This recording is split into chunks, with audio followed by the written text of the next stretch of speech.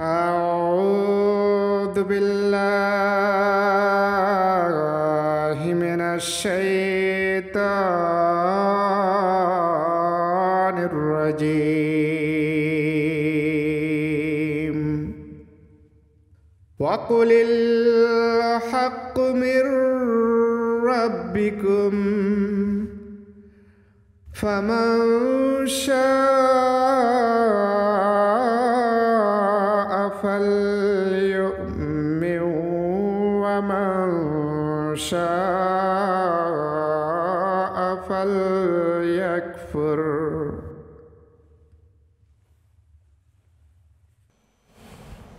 আউজবিল্লাহমিন শাহিতান রাজিম বিসমিল্লাহ রহমান রাহিম আসসালামু আলাইকুম রহমতুল্লাহ আবরাকাতুহ প্রিয় দর্শক।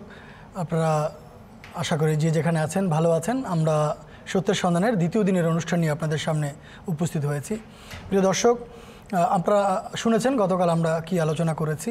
আমাদের একই আলোচনা অব্যাহত থাকবে।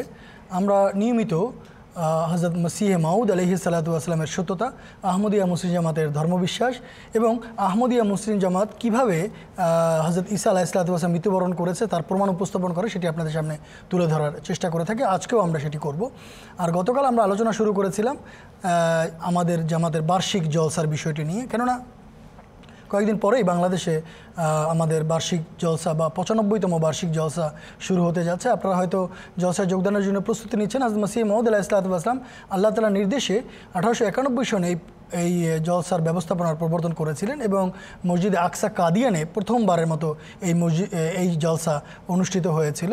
এবং এই জলসার গুরুত্ব, তাৎপর্য, এর ফজিলত এবং এতে যারা যোগদান করবেন, তাদের করণীয় সম্পর্কে তিনি তার পুস্তকে বিভিন্নভাবে লিখে গেছেন, আমাদেরকে অনুপ্রাণিত করে গেছেন, তার অনুসারীদেরকে অনুপ্রাণিত করে গেছেন। আমরা আমাদের অনুষ্ঠানে ঘুরিয়ে ফিরে সেগুলো আপনাদেরকে শোনানোর চেষ্টা করব। গতকালও শুনিয়েছিলাম, আজকেও ইনশাল্লাহ আমরা আপনাদেরকে শোনানোর চেষ্টা করব। প্রিয় দর্শক আমাদের এই অনুষ্ঠান আপনাদের জন্য। আমাদের কথাগুলো আল্লাহ এবং আল্লাহ রসুলের কথা। আমরা আল্লাহ এবং আল্লাহ রসুলের কথা যেন সুন্দরভাবে আপনাদের সামনে উপস্থাপন করতে পারি এই জন্য আপনারা দোয়া করবেন। আমাদের কথাগুলো যেন মানুষের হৃদয়ে দাগ কাটে, আমাদের কথায় যেন আল্লাহ তালা বরকতের রূপ ফুৎকার করেন এই জন্য আপনারা দোয়া করবেন। আমরা চেষ্টা করছি সামান্য এই তুচ্ছ প্রয়োজন আল্লাহ তালা আমাদের পক্ষ থেকে গ্রহণ করেন এই জন্য আমরাও দোয়া করি। আপনাদের কাছেও বিনীত অনুরোধ, আপনারা দোয়া করবেন। প্রিয় দর্শক, একটু আগেই আপনারা আমাদের প্রিয় খলিফার জুমার খোদ্া শুনেছেন। তিনি ধারাবাহিকভাবে বদ্রি সাহাবিদের উপরে খোদ্া দিচ্ছেন।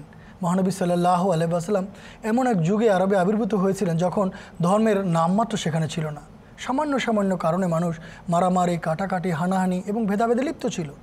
সেই মানুষগুলোকে মহানবী সাল্লাহ আলহাম রাতারাতি যেন পাল্টে দিয়েছেন। তার পবিত্র করণ শক্তির সাহচর্যে, তার পবিত্র বা নেকির সাহচর্যে তারা যেন রাতারাতি সেই বন্য মানুষ থেকে খোদাপ্রেমী মানুষে পরিণত হয়েছেন। সেই তেরো, তিনশো তেরো জন সাহাবি যারা বদরের প্রান্তরে মহানবী সাল্লাহ আলহামের সাথে আল্লাহ তালার ভালোবাসায় খোদার ধর্মের রক্ষার জন্য, খোদার ধর্মের সম্মান রক্ষার জন্য যুদ্ধ করতে গিয়েছিলেন। তাদের পরিচয় কী? তারা কীভাবে ত্যাগ করেছেন? তারা কীভাবে কোরবানি দিয়েছেন? সেগুলো হুজুর ধারাবাহিকভাবে তার খোদ্ায় তুলে ধরছেন। আজকেও তিনি কয়েকজন সাহাবির উল্লেখ করেছেন ইতিহাসের আলোকে। প্রথমবার মুসলমানরা যখন মক্কাবাসীদের অত্যাচার, নির্যাতন এবং নিপীড়নে অসহ্য হয়ে মহানবী সাল্লামের নির্দেশে মক্কা থেকে আবিসিনিয়া হিজরত করেছিলেন, তাদের কথা হুজুর বলেছেন। এরপরে হুজুর খোদবার শেষ দিকে জামাতের একজন নিষ্ঠাবান কর্মী, জামাতের একজন পুরনো সেবক, প্রফেসর সৌদ আহমদ খান দেহলবি সাহেবের কথা উল্লেখ করেছেন। তিনি গত একুশে জানুয়ারি তিনি ইন্তেকাল করেছেন। হুজুর তার স্মৃতিচারণ করেন এবং তিনি জামাতের জন্য যে অনবদ্য সেবা করে গেছেন তার কিছু ঝলক আমাদের সামনে উপস্থাপন করেছেন। হুজুর, এগুলো উল্লেখ করেন যাতে জামাতের যারা ওয়াকফে জিন্দিগি আছেন বা যারা জামাতের কাজ করছেন, তারা যেন এগুলো শুনে, আমরা যেন এগুলো শুনে অনুপ্রাণিত হই। আমরা যেন যারা জীবন উৎসর্গ করেছি, আমরা যেন নিজেদের জীবনকে এভাবে কাজে লাগানোর পুরোপুরি চেষ্টা করি। আল্লাহ তালা আমাদের সবাইকে তৌফিক দিন। এই ছিল সংক্ষেপে কয়েকটি কথা। বাংলাদেশে আমরা, আপনারা বিশ্বের বিভিন্ন প্রান্তে, বাংলাদেশ সহ পশ্চিমবঙ্গ সহ আমাদের অনুষ্ঠান আপনারা দেখছেন। গতকালও দেশের বিভিন্ন প্রান্তে আপনারা অনুষ্ঠান দেখেছেন। আমরা কিছু ছবি পেয়েছি। হয়তো টেলিভিশন পর্দায় সেগুলো দেখানো হবে। সেই ছবিগুলো আপনারা দেখে নিতে পারেন। বাংলাদেশের বিভিন্ন জায়গায় জলসাও হয়েছে বা সিরতনবী জলসা করা হয়েছে। সেখানে জিরতনবিক বন্ধুরা উপস্থিত থেকে অনুষ্ঠান দেখেছেন। শীতের রাতে তারা বাহিরে বসে প্রজেক্টরের মাধ্যমে অনুষ্ঠান দেখেছেন। সেই ছবিও আমরা পেয়েছি। প্রিয় দর্শক, এই ছিল ভূমিকায় কয়েকটি কথা। আমাদের অনুষ্ঠান সরাসরি, এই অনুষ্ঠান আপনাদের জন্য। এই অনুষ্ঠানে যদি আপনারা ফোন করতে চান, করতে পারেন। আমাদের সঙ্গে যোগাযোগের বিস্তারিত বিবরণ টেলিভিশন পর্দায় দেখানো হচ্ছে। আমি আবার আপনাদেরকে বলে দিচ্ছি, ফোন করতে পারেন লন্ডনের নাম্বারে zero zero four four two zero three one nine eight five, four zero four এই নাম্বারে। আমাদের লাইন সচল আছে। এছাড়া বাংলাদেশের যারা দর্শক, তাদের সুবিধার্থে বাংলাদেশের একটি নাম্বার আমরা দিচ্ছি। আপনারা ফোন করতে পারেন zero one seven triple nine triple zero two five এই নাম্বারে। আপনারা আমাদেরকে এস এস লাইভ অ্যাট এমটিএতে ইমেল পাঠাতে পারেন। এছাড়া আপনারা আমাদেরকে ফলো করতে পারেন টুইটারে at MTA underscore S S live এবং ফেসবুকেও আমাদেরকে ফলো করতে পারেন। Facebook at MTA dot S S live এই ঠিকানায়। প্রিয় দর্শক আজকে আলোচনার জন্য বরাবরের মতো লন্ডন ইনস্টিটিউটে আমাদের সঙ্গে উপস্থিত আছেন মোহতরম মৌলানা ফিরোজ আলম সাহেব। বাংলাদেশ স্টুডিওতে আছেন মোহতরম মৌলানা আব্দুল আব্বাল খান চৌধুরী সাহেব। এবং তার সঙ্গে আছেন মৌলানা মোহাম্মদ আকরামুল ইসলাম সাহেব। আমি আপনাদের সবাইকে অনুষ্ঠানের পক্ষ থেকে স্বাগত জানাচ্ছি। প্রিয় দর্শক, অনুষ্ঠানের শুরুতেই আমরা বাংলাদেশে যাব মৌলানা আব্দুল আব্বাল সাহেবের কাছে। কিন্তু তার আগে হাজরত মসিহ মাউদ আলহি সাল্লাতাম জলসার গুরুত্ব এবং তাৎপর্য সম্পর্কে কি বলে গেছেন সেটি আপনাদেরকে একটু শুনিয়ে দিচ্ছি। চলুন কি বলেছেন তিনি তা শুনে নেই। হজরত মুসিহ মাউদ আলহিসাল্লাম জলসার গুরুত্ব বোঝাতে আরও বলেন এই জলসার লক্ষ্য ও মূল উদ্দেশ্য ছিল আমাদের জামাতের সদস্যরা কোনো না কোনোভাবে বারবার পারস্পরিক সাক্ষাতের মাধ্যমে যেন নিজেদের মাঝে এমন এক পবিত্র পরিবর্তন সাধন করে যাতে তাদের হৃদয় সম্পূর্ণরূপে পরকালের প্রতি নিবদ্ধ হয়, আর তাদের মাঝে যেন ক্ষোধাভীরতা সৃষ্টি হয়, আর তারা পবিত্রতা তাকুয়া ধর্মানুরাগ, সততা নম্রতা এবং পারস্পরিক ভালোবাসা ও ভ্রাতৃত্বের ক্ষেত্রে যেন অন্যদের জন্যে অনুকরণীয় আদর্শে পরিণত হয়। নম্রতা, বিনয় ও সততা যেন তাদের মাঝে সৃষ্টি হয়। আর ধর্মীয় স্বার্থ সংশ্লিষ্ট বিষয়ে তারা যেন বিশেষভাবে অনুপ্রাণিত ও উদ্যোগী হয়। বর্তমানকালের কিছু সংখ্যক গদ্দিনসীন পীরের মতো বাহ্যিক চাকচিক্য ও জৌলুস দেখানোর উদ্দেশ্যে নিজ বয়াত গ্রহণকারীদের সমবিত করা মোটেও আমার উদ্দেশ্য নয়। বরং আমি যে মূল উদ্দেশ্য সাধনকল্পে কোনো উপায় অবলম্বন করি, তা হলো জগৎবাসীর সংশোধন। কোনো বিষয় বা কোনো ব্যবস্থাপনা যদি সংশোধনের কারণ না হয়ে বিশৃঙ্খলার কারণ হয়, তবে সে বিষয়ে আমার চেয়ে বড় শত্রু এই জগতে আর কেউ নেই। শাহাদাতুল কোরআন, রুহানি খাজাইন, ষষ্ঠ খণ্ড, পৃষ্ঠা তিনশো চুরানব্বই, তিনশো পঁচানব্বই প্রিয় দর্শক, জলসার গুরুত্ব বোঝাতে গিয়ে আজাদ মাসি মাহমুদ আলাইসালাতাম কি বলেছেন? শাহাদাতুল কোরআন পুস্তকের আলোকে সেটি আমরা শুনে নিলাম। প্রিয় দর্শক, যেভাবে আমরা বলেছি যে আমাদের অনুষ্ঠান আপনাদের জন্য, আপনাদের সরাসরি অংশগ্রহণ আমাদের অনুষ্ঠানকে প্রাণবন্ত করবে, আমাদের অনুষ্ঠানকে আরও সুন্দরভাবে উপস্থাপন করতে সাহায্য করবে। আপনারা অনুষ্ঠানটি দেখতে থাকুন এবং আপনাদের মাথায় কোনো প্রশ্ন আসলে আপনারা নির্দ্বিধায় আমাদেরকে করবেন। আমরা গতকাল বলেছিলাম যে হাজরত মাসি মাউদ আলহি আসলাম প্রথম আল্লাহ তালা নির্দেশে যে জলসা শুরু করেছিলেন, সেটি কাদিয়ানের পূর্ণভূমিতে মসজিদে আকসায় শুরু করেছিলেন। মসজিদে আকসার কয়েকটি ছবি এখন আপনাদেরকে টেলিভিশন পর্দায় দেখিয়ে দেওয়া হচ্ছে।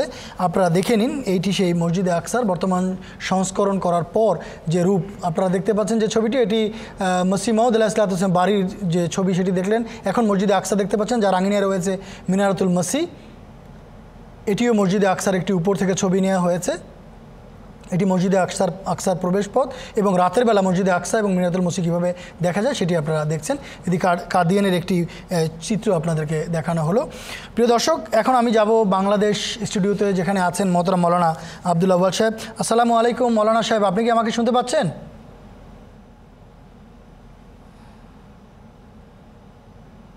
ওয়ালাইকুম সালাম ওয়া রাহমাতুল্লাহ। স্পষ্টভাবে।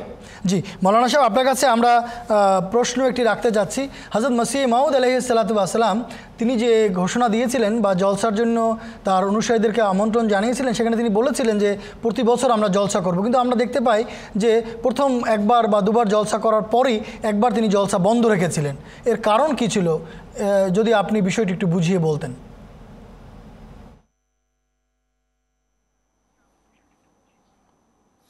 ধন্যবাদ। আঠারোশো একানব্বই সালে প্রথমবার যে জলসা অনুষ্ঠিত হয় মসজিদে আকসায়, সেখানে পঁচাত্তর জন ছিলেন।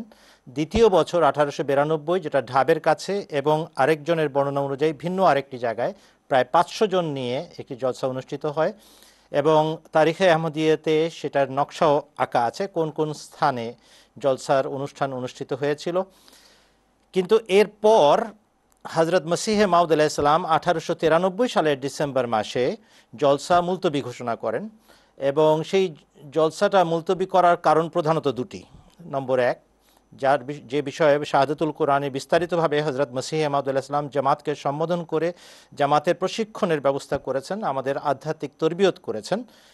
নম্বর এক কারণ তিনি বর্ণনা করেন যে আমাদের মাঝে এখনও এখনও এত দুর্বলতা বিদ্যমান এখনও এমন নৈতিক উৎকর্ষ সাধন করা বাকি আছে, যার কারণে যখনই কোনো সমাবেশ ঘটে আর যেখানে স্থান সংকুলান পর্যাপ্ত নয়, যেখানে কষ্ট করতে হয়, যেখানে নিজেদের মাঝে কষ্ট এবং সুখ ভাগ করে নিতে হয়, সেখানে কীভাবে আচরণ করা উচিত একজন মোমেন মুসলমানের, সেক্ষেত্রে ঘাটতি দেখা দিয়েছে বা সেই আচরণের ভিতরে কিছু কিছু সদস্যদের পক্ষ থেকে এমন আচরণ প্রদর্শিত হয়েছে যেটা মোটেও মুসলমানের জন্য সাজে না। সেই কারণে আমি যতক্ষণ পর্যন্ত আমাদের মধ্যে সেই নৈতিক উন্নতি সাধিত না হচ্ছে, আমি এই জলসা অনুষ্ঠান করব না। এটা একটা বিষয় বলেছেন। আর দ্বিতীয় কথা বলেছেন যে আমাদের এখানে এখনও ইনফ্রাস্ট্রাকচারাল ডেভেলপমেন্ট হওয়া বাকি আছে। এত সুযোগ সুবিধা এখনও আমরা সৃষ্টি করতে পারি নাই, যার মাধ্যমে আমরা অধিক সংখ্যায় অধিক হারে মানুষকে আমন্ত্রণ জানাতে পারি। সেটাও যতক্ষণ পর্যন্ত দূর না হচ্ছে আমি এই জলসা করতে পারছি না। এর পাশাপাশি তিনি এটাও বলেন যে আমাদের সীমাবদ্ধ সামর্থ্যের মাঝে যা প্রায়োরিটি যেটা প্রাধান্য দেওয়ার বিষয়, সেগুলোকে না দিয়ে আমরা জলসা করতে পারছি না। এই মোটামুটি এই বিষয়গুলোকে তিনি শাহাদুল কোরআনে উল্লেখ করেছেন। আমি এই সুযোগটা গ্রহণ করে বলতে চাই হজরত মসিহে মাউদ আলাইসালাম লিখেছেন, আমি এখানে কারও নাম নিয়ে আমাদের দুর্বলতা উল্লেখ করছি না। আমাদের জামাতের সংশোধনের জন্য এবং আত্মিক প্রশিক্ষণের জন্য এই কথা বলছি। যদি কেউ এই সুযোগ গ্রহণ করে কারও নাম নিয়ে তার দুর্বলতা প্রকাশ করে দেয়, তাহলে সেটা হবে ফিতনা এবং সে বড় পাপী সাব্যস্ত হবে। হজুর বলছেন যে কখনো কখনো দেখা যায় যে রেলগাড়িতে মানুষ বসে আছে আর শেষ মুহূর্তে এসে একজন যাত্রী স্থান খুঁজছে, জায়গা খুঁজছে, টিকিট নিয়ে ঘুরছে। একটা দরজার সামনে এসে দাঁড়ানোর মাত্রই রেলের গাড়ির, রেলের ভেতরে যে কামরাটা কম্পার্টমেন্টটা সেটার ভেতরকার যাত্রীরা দরজা বন্ধ করে দেয় তার মুখের উপর। অথচ একটু পাশাপাশি ঘেসে বসলেই কিন্তু তার জন্য জায়গা বের করা সম্ভব। কিন্তু এখানে মানুষ অন্যের সুযোগ সুবিধার চেয়ে বেশি নিজের সুযোগ সুবিধাকে প্রাধান্য দিয়ে ফেলে। কিন্তু শেষ পর্যন্ত রেল কর্তৃপক্ষ সেই যাত্রীকে তুলে দেন, কেননা সে টিকিট কেটেছে। কিন্তু মানুষ তার নৈতিক অবস্থার বহিঃপ্রকাশ ঘটিয়ে ফেলে। হজুর বলছেন, ঠিক এমনিভাবে অন্যকে যখন আমরা প্রাধান্য না দিব, তখন অশান্তি বিশৃঙ্খলা হতেই পারে। আর আমি চাই আমার জামাতের মধ্যে উচ্চাঙ্গের নৈতিকতা বিদ্যমান থাকুক এবং সৃষ্টি হোক। তিনি আরও বলছেন, যদি কেউ অসুস্থ থাকে, তাকে প্রাধান্য না দিয়ে আমি যিনি সুস্থ দেহের অধিকারী, সবল মানুষ, আমি যদি আমার চকির উপরে বহাল তবিয়তে রাত কাটাই, আর অসুস্থ মানুষকে আমি রাতে মাটিতে পড়ে থাকতে দেই, তাহলে আমার এই দুর্দশার জন্য অবশ্যই দুশ্চিন্তার কারণ আছে। আত্মিক দুর্দশায় ভুগছি আমি। অতএব আমার সংশোধন প্রয়োজন এবং নিজে কষ্ট সহিষ্ণু হব, নিজের জন্য তাই চাইব যে আমি আমার ভাইয়ের জন্য চাই। অতএব ভাইয়ের সুখের জন্য আমি নিজে ত্যাগ স্বীকার করার মানসিকতা সৃষ্টি করব। এইভাবে তিনি নিজের জামাতকে দেখতে চেয়েছেন। হজরত মসিহ মাউদ আলাহিসাল্লাতুয়াসাল্লাম এক একটা উদ্ধৃতি দিয়ে এক একটা উদাহরণ দিয়ে বুঝিয়েছেন, তিনি তার জামাতকে অনেক উচ্চাঙ্গের নৈতিক জামাত দেখতে চান। যতক্ষণ পর্যন্ত সে অবস্থার সৃষ্টি না হচ্ছে জলসা মুলতবি ঘোষণা করা হয়েছিল। ধন্যবাদ আপনাকে, মৌলানা সাহেব। প্রিয় দর্শক, আমরা শুনছিলাম যে মসিম মোহাম্মদ আলাহিসাল্লাম কী কারণে জলসার আয়োজন করেছিলেন আর কেনই বা তিনি একবার জলসা বন্ধ করতে বাধ্য হয়েছিলেন। এবারে আমরা লন্ডন ইনস্টিটিউটে মৌলানা ফিরোজ আলম সাহেবের কাছে আসতে চাইব যে এই যে জলসার কথা আমরা বলছি, এই জলসা একটা বিশাল ব্যয়বহুল একটা বিষয়। অনেক অর্থ খরচ এখানে হয়। আর আমরা জানি যে মসি মহম্মদ আলাহিসাল্লাম জলসার পাশাপাশি অতিথিশালারও প্রতিষ্ঠারও আল্লাহ তালার কাছ থেকে বা লঙ্গরখানা প্রতিষ্ঠারও নির্দেশ তিনি পেয়েছিলেন, যার সঙ্গে জলসার একটা ওতপ্রোত সম্পর্ক রয়েছিলেন। খোদার নির্দেশেই তিনি এই ব্যবস্থাপনারও, অতিথিশালা ব্যবস্থাপনার প্রবর্তন করেছিলেন। এ সম্পর্কে যদি আপনি কিছুটা আলোকপাত করতেন, আমাদেরও সামনে জলসা আছে। আপনাকে অনেক ধন্যবাদ। আল্লাহর পক্ষ থেকে যখনই মহাপুরুষ আসেন বা মহাপুরুষরা আসেন তাদের যে দায়িত্ব হয়ে থাকে সেই দায়িত্ব পালনে সফলতা লাভের জন্য বা যে মিশন নিয়ে তারা আসেন, সেই মিশনকে চূড়ান্ত পর্যায়ে পৌঁছানোর জন্য আর্থিক কোরবানি এবং আর্থিক ত্যাগ শিকারের প্রয়োজন হয়। কোনো নবী এই ক্ষেত্রে ব্যতিক্রম নন। তারা তাদের মান্যকারীদেরকে সবসময় তাদের নিয়ে আসা মিশনকে সফলতার দ্বার প্রান্তে উপনীত করার জন্য তাদের যা কিছু ছিল, টাকা কড়ি থেকে, টাকা পয়সা থেকে আরম্ভ করে কায়িক, শক্তি, সামর্থ্য সব কিছু তারা উজাড় করে দিয়েছেন। আল্লাহর পক্ষ থেকে প্রেরিত ব্যক্তির মিশন এবং দায়িত্বকে সফলতার দ্বার প্রান্তে উপনীত করার জন্য। হজরত মসিহ মহদ আলাইসাল্লাতুয়াসাল্লামও ঠিক তার জীবনে, তার মান্যকারীদের ক্ষেত্রে আমরা দেখি যে এই ক্ষেত্রে তিনি কোরবানি চেয়েছেন তাদের কাছে। যখন আল্লাহ তালা তাকে যেভাবে আমরা আলোচনা করছি জলসার প্রেক্ষাপটে, জলসার যখন সূচনা হয় হজরত মসিহ হেমদ আলাহি সাল্লাতুয়াসাল্লাম প্রথম দিকে তার নিজের যতটুকু সাধ্য ছিল, সামর্থ্য ছিল, তার কাছে যা কিছু ছিল, সব কিছু ব্যয় করেছেন। ধর্মের সত্যের সন্ধানে যারা কাদিয়ানে আসতো তার কাছে, তাদের আতিথেয়তার জন্য।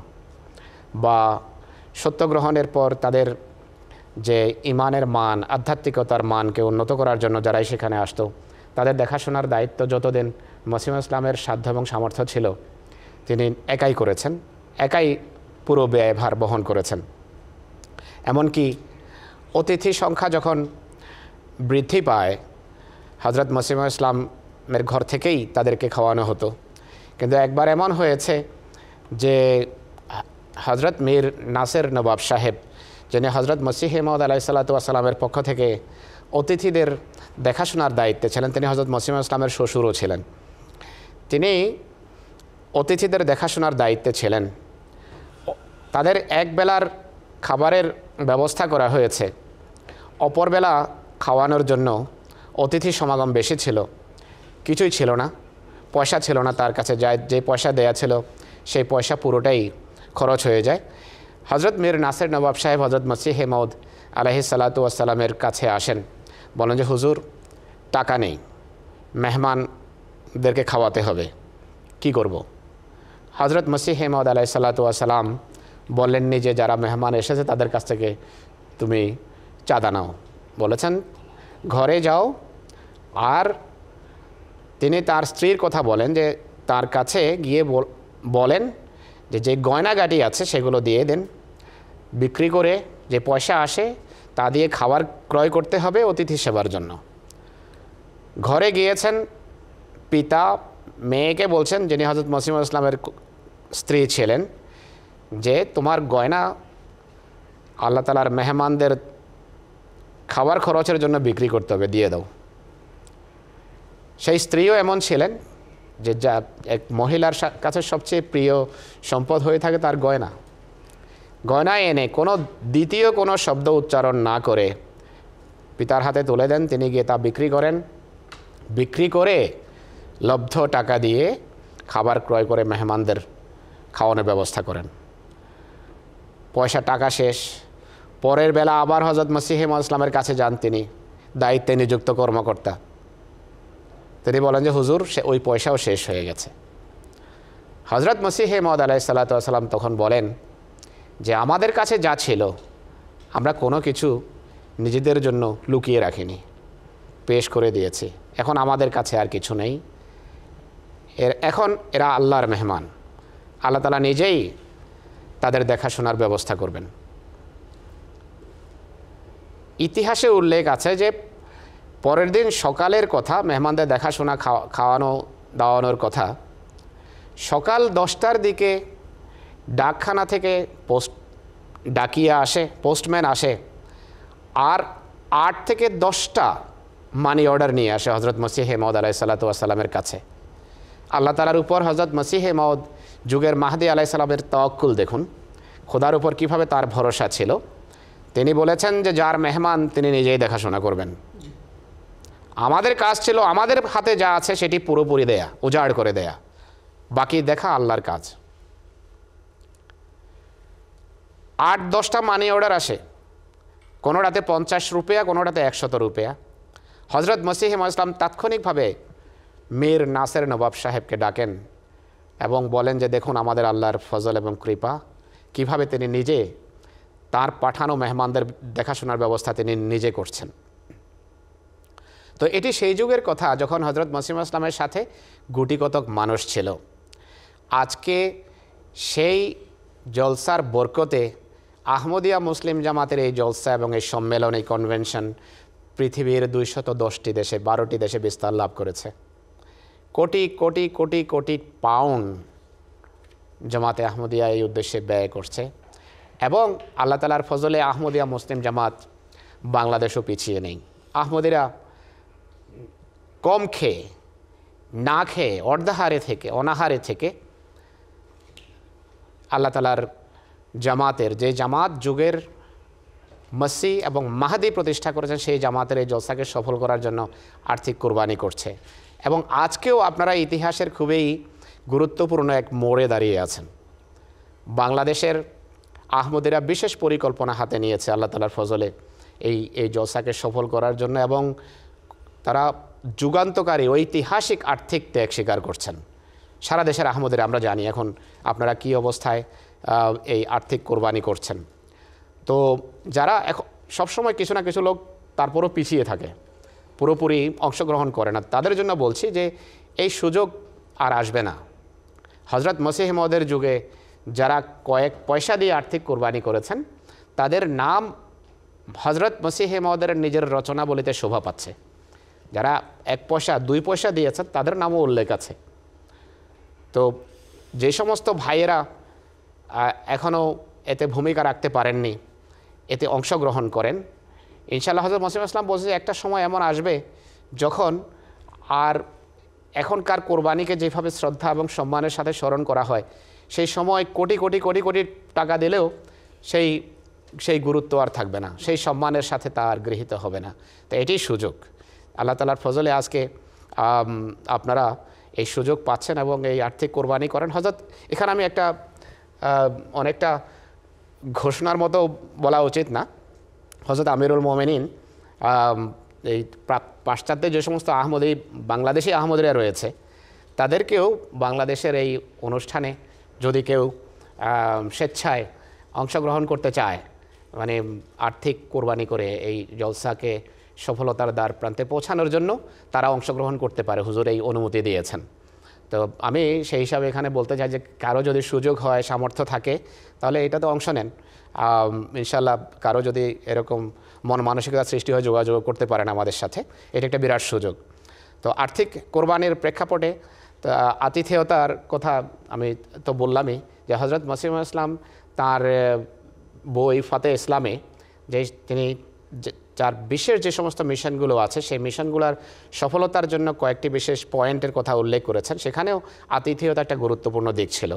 তো আতিথেয়তা জমাতে আহমদিয়ার এটি ইসলামের একটা স্বতন্ত্র বৈশিষ্ট্য।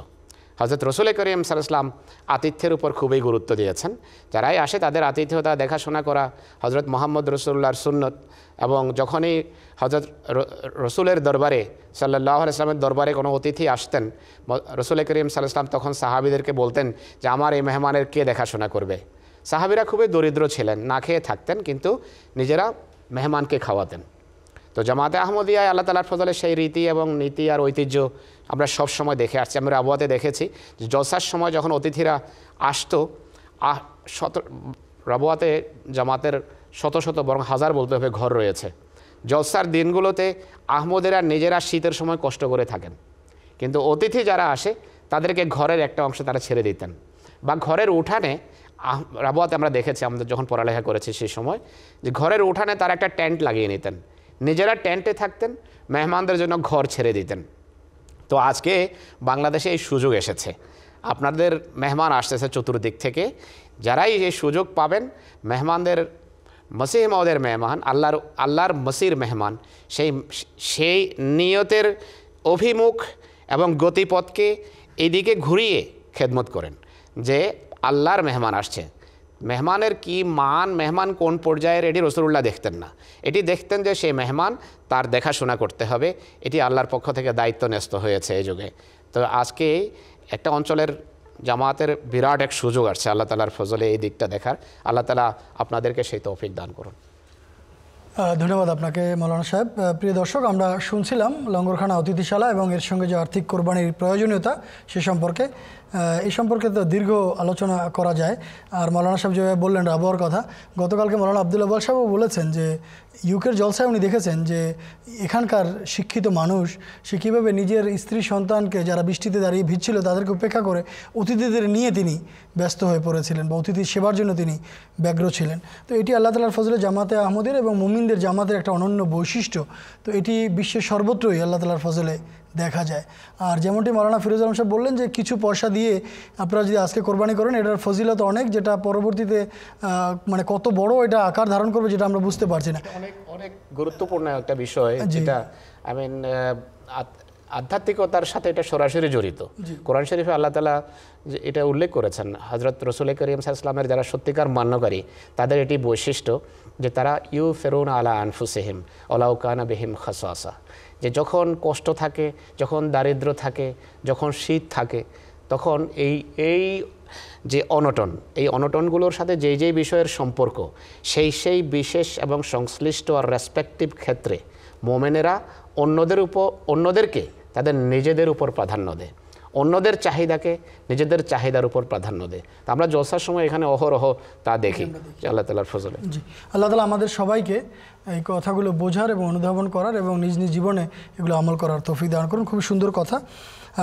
আমি এবার আবার বাংলাদেশে যাব। মৌলানা মোহাম্মদ আকরামুল ইসলাম সাহেব সেখানে আছেন। মৌলানা আকরাম সাহেব আপনি কি আমাকে শুনতে পাচ্ছেন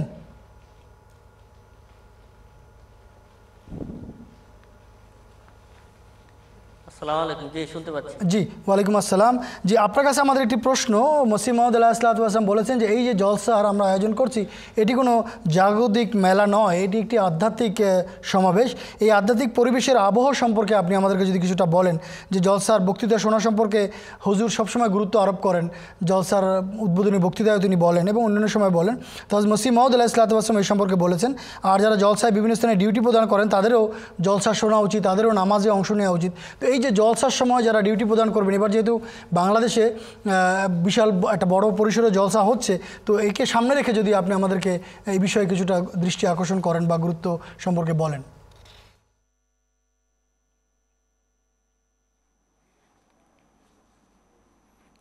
জি, ধন্যবাদ। আপনি সঠিক, খুব সুন্দর কথা বলেছেন। হজরত মুসিম আল্লাহ সাল্লাম বলেছেন যে আমাদের যে জলসা, এই জলসা কোনো জাগতিক অপরাপর যে মিলন মেলা বা মেলা সেরকম কোনো উৎসব না, সেরকম কোনো অনুষ্ঠান নয়। বরং এটি একটি আধ্যাত্মিক একটা অনুষ্ঠান। এখানে আধ্যাত্মিক আবহই সৃষ্টি হবে, এটাই স্বাভাবিক। যেমন হজরত মুসিমাউদ সাল্লাম বলেন যে, এ জলসাকে অপরাপর জাগতিক কোনো মিলন মেলার মতো মনে করবেন না। এটি সেই সেই বিষয় যার মূল ভিত্তি কেবল সত্য ধর্মের সাহায্য ও সহায়তা কল্পে এবং ইসলামের বাণীকে উচ্চ মর্যাদায় অধিষ্ঠিত করার জন্য রাখা হয়েছে। একইভাবে হজরত মুসিম আউদাল্লাহ সাল্লাম আরও বলেন যে, এ জলসার মূল উদ্দেশ্য ও লক্ষ্য ছিল আমাদের জামাতের লোকেরা যেন যে কোনোভাবে বারবার সাক্ষা, সাক্ষাতের মাধ্যমে নিজেদের মাঝে এক পবিত্র পরিবর্তন সাধন করে। যদ্বারা তাদের হৃদয় পরকালের প্রতি পুরোপুরি ঝুঁকে যাবে এবং তাদের মাঝে খোদা ভীতি, খোদা ভীতির সৃষ্টি হবে। আর তারা যেন ধার্মিকতা খোদাভীতি খোদাপ্রেম সাধুতা, নম্রতা, পারস্পরিক সাহ- সৌহার্দ্য ও ভ্রাতৃত্বের ক্ষেত্রে অন্যদের জন্য অনুকরণীয় অনুকরণীয় আদর্শে পরিণত হয়। একইভাবে হুজুর বলেন যে, তাদের মাঝে যেন নম্রতা, বিনয় ও সততা সৃষ্টি হয়। এবং তারা যেন ধর্মীয় গুরুদায়িত্ব পালনে রত হয়। তো এই বিষয়টা আমরা দেখতে পাই যে যারা আল্লাহর ফজলে আহমদিয়া মুসলিম জামাতের জলসায় সামিল হন, যারা এই জলসা উদযাপন করার জন্য আসেন বিভিন্ন স্থান থেকে হজরত মুসিমাউদ আল্লাহ সাল্লামের এই জলসায়, তারা ঠিক হজরত মুসিমাউদ আল্লাহ সাল্লামের এই নসিহতগুলাকে পুঙ্খানুপুঙ্খভাবে আমল করার চেষ্টা করেন। আমরা দেখতে পাই জলসা গায়ে যখন এক আহমদে আরেক আহমদের সাথে সাক্ষাৎ করে, তো সালামের মানে জলসা গায়ে একটা সালামের একটা আবহ বিরাজ করে যে এক এক আহমদি আর এক আহমদির সাথে আসসালামু আলাইকুম বলে সাক্ষাৎ করেন, হাসি মুখে সাক্ষাৎ করেন। যেরকমভাবে রসুল্লাহ সাল্লাহ আলাই সাল্লাম বলেছে যে এক মুসলমানের সাথে আরেক মুসলমান হাসি মুখে সাক্ষাৎ করা মানে সৎকার মানে মর্যাদা পায় আর কি। এভাবে আহমদিরা পরস্পরের সাথে সাক্ষাৎ করে এবং যখন বক্তৃতা হয়, তখন তারা নিবিষ্ট চিত্তে সেই বক্তৃতা শ্রবণ করে এবং দেখা যায় যে সেই বক্তৃতায় তারা যা শিখে, তারা যা শুনতে পায়, সেটাকে তাদের বাস্তব জীবনেও আমরা সেটাকে মানে প্রয়োগ করতে দেখি। তো খুবই মানে এই যে জলসা, এটা যে বরকতময়, আর হজরত মুসিমদ আল্লাহ সাল্লাম যেভাবে বলেছেন, এটি আল্লাহ তালা এই জলসার ভিত রচনা করেছেন। আর এই জন্যে আহমদিরা যখন এই জলসায় উপস্থিত হয়, তখন প্রত্যেক আহমদির মাঝেও এই যে হজরত মুসিমাউদ আল্লাহ সাল্লামের যে আকাঙ্ক্ষা, সেই আকাঙ্ক্ষার প্রতিফলন আমরা দেখতে পাই। সবার মাঝে সেই আধ্যাত্মিক যে উৎকর্ষ সাধনের যে একটা আগ্রহ, এর জন্য যে তাদের পরস্পরের মধ্যে ত্যাগ স্বীকার করা। যে আমরা দেখতে পাই, আমরা যখন এই যে আমাদের বাংলাদেশে যে বক্সিবাজারে যখন আমাদের জলসা হয়, তখন আমাদের জায়গা খুবই সংকুলান করা খুবই কষ্ট হয়ে যায়। কিন্তু তারপরও প্রত্যেক আহমদি এত কষ্ট করে সেই জলসায় থাকে এবং হাসি মুখে সে জলসাকে উপভোগ করে এবং জলসার যে নসিহাত, সে নসিহতকে তারা হৃদয়ঙ্গম করে। যেভাবে হজরত মসিম সাল্লাম আমাদের কাছে প্রত্যাশা করেছেন। আর আপনি যেভাবে বলেছেন যে জলসা কীভাবে শোনা উচিত, এক্ষেত্রেও হজরত মসিম সাল্লাম বলেছেন যে জলসা অত্যন্ত নিবিষ্ট চিত্তে শোনা উচিত। হুজুর বলেছেন যে যে ব্যক্তি এই যে জলসা নিবিষ্ট চিত্তে শোনে না, সে তার অবস্থা তো যেভাবে বলা হয় যে কান থাকতে সে কেউ শুনে না এবং হৃদয় আছে কিন্তু সে উপলব্ধি করে না। তো এটা তাদের জন্য খুবই, আমি আসলে হজরত মুসিমদ আল্লাহ সাল্লামের যে কোটেশন সেটা আমি নিজের ভাষায় বলছি। তো এটা, এটাকে হুজুর হজরত মুসিমদ আল্লাহ সাল্লাম বলেছেন যে এটা খুবই মন্দ পরিণতি বয়ে আনে। এটা যে নিবিষ্ট চিত্তে জলসায় এসে বক্তৃতাগুলো শুনবে না, সেটা তার জন্যে খুবই ক্ষতির কারণ হবে। হুজুর বলেছেন যে যেভাবে একজন ব্যক্তি কোনো আধ্যাত্মিকভাবে উৎকর্ষ লাভ করা ব্যক্তির, নেক পুণ্যবান ব্যক্তির সান্নিধ্যে থেকেও অনেক দিন পর্যন্ত থেকেও কোনো কল্যাণ লাভ করতে পারে না।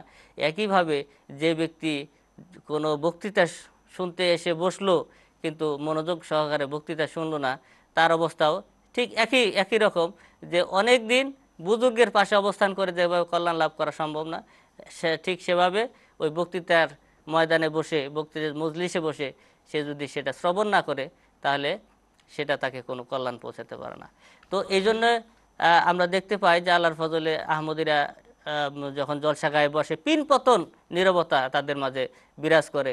এটা যারা বাইরের অতিথিরা আসে, তারা তো হতবাক হয়ে যায় যে আমরা আমাদের জলসায় এরকম একটা গ্যাদারিংয়ে আমরা কখনো এটা কল্পনাই করতে পারি না যে একজন আরেকজনের সাথে কথা বলে না।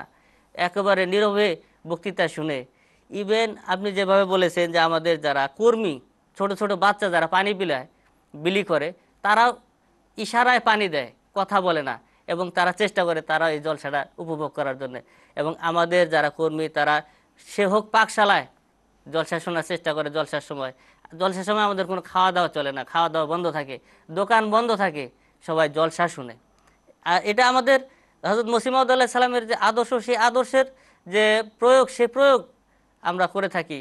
আর ইনশাল্লাহ ভবিষ্যতেও করব। আমাদের সামনে যে জলসা আসতেছে সেই জলসার জন্য ইতিমধ্যে যে প্রোগ্রাম করা হয়েছে, সেখানে সর্বপ্রথম যে নামাজের ব্যবস্থা করা হয়েছে, যেন বাজামাত, সমস্ত কর্মীরা বাজামাত নামাজ পড়ে। নামাজ যাতে আমার, আমাদের বাদ না পড়ে। নামাজ যাতে আমরা বাজামাত পড়ি, সেই ব্যবস্থা রাখা হয়েছে। হজরত আমাদের ন্যাশনাল আমির সাহেব এই জিনিসটা বিশেষভাবে দৃষ্টি দিয়েছেন এবং তার বক্তৃতা মানে বিভিন্ন নসিহতমূলক বক্তৃতার ক্ষেত্রে এই কথাটা মিটিংয়ের মধ্যে উপস্থাপন করেছেন যে আমাদের এই জলসার যে ই হবে যারা কর্মী থাকবে তাদেরকে নামাজ পড়তে হবে। আর এটা পড়েও থাকে সবাই। যারা দিন রাত পরিশ্রম করে এমটিএর কর্মীরা বা অন্য যারা শৃঙ্খলায় থাকে, তারা দিন রাত পরিশ্রম করে, কিন্তু নামাজের সময় হলে আল্লাহর ফজলে আহমদিরা নামাজ পড়ে। এটা একটা বিস্ময়কর বিষয়। অন্যান্য ক্ষেত্রে খায় ওই তাদের ও বিভিন্ন ওরসে যেভাবে হয়, খায়, কেউ জিকের অস্কার করল করল, না করল না করল। কিন্তু আহমদের ক্ষেত্রে এর- এরকম হয় না। তো যাই হোক, আলহামদুলিল্লাহ, তো আমাদের যে এই যে জলসা আসতেছে, এই জলসায় হজরত মুসিমদ আল্লাহিসাল্লাম যেভাবে আমাদের কাছ থেকে চেয়েছেন, আমরা যেন সেভাবে আমরা জলসা উদযাপন করতে পারি, আল্লাহ তালা আমাদেরকে সেই তৌফিক দান করুন। আমিন, সুম্মা আমিন। ধন্যবাদ। মৌলানা আকরামুল ইসলাম সাহেব অনেকগুলো লাইন এখানে অপেক্ষা করছে। আমি প্যানেলকে অনুরোধ করব সংক্ষেপে উত্তর দেওয়ার জন্য। এখানে দেখতে পাচ্ছি যে মেহেদি হাসান সাহেব লাইনে আছেন বাংলাদেশের হেলেন চাকুরি থেকে। আসসালামু আলাইকুম মেহেদি হাসান সাহেব। আসসালামু আলাইকুম রহমতুল্লাহ। জি ভাই বলুন আপনার প্রশ্ন। জি আমি আমি রংপুর থেকে বলছিলাম। আচ্ছা বলুন আপনার প্রশ্ন কি? আমার প্রশ্ন হচ্ছে মহান আল্লাহ তালা বলেন তোমাদের কর্মফল তোমরা অবশ্যই ভোগ করবে। যদি তোমরা কিঞ্চিত ভালো কাজ করো তার প্রতিফলও তোমরা পাবে। এবং যদি তোমরা কিঞ্চিত খারাপ কাজও করো তার প্রতিফলও তোমরা পাবে। আর অপর একদিকে আল্লাহ তালা বলেন যে আমরাই তোমাদের হেদায়েত প্রদান করি। আমরা যদি তোমাদের হেদায়েত প্রদান না করতাম তাহলে তোমরা হেদায়েত প্রাপ্ত হতে পারতে না। আসলে আমার প্রশ্নটা হচ্ছে যে এরকম যে তিনি তো আমাদের পরিচালিত করেন। খারাপ পথে এবং ভালো পথে। তাহলে আমরা কেন আহ, তিনি তো ভালো পথেও পরিচালিত করতে পারবেন। অতপর আমাদের কেন অতপর আমাদের কেন আহ, খারাপ কাজ করার জন্য শাস্তি দেন আচ্ছা তিনি। ধন্যবাদ আপনাকে। আপনার প্রশ্নটি পেয়ে গেছি আমরা। আহ, মৌলানা আব্দুল আব্বাল সাহেবের কাছে রাখতে চাচ্ছি। মৌলানা সাহেব আসসালামু আলাইকুম। আপনি কি প্রশ্নটি শুনতে পেয়েছেন?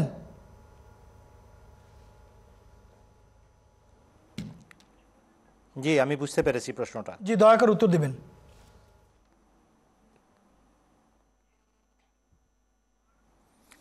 মানুষ তার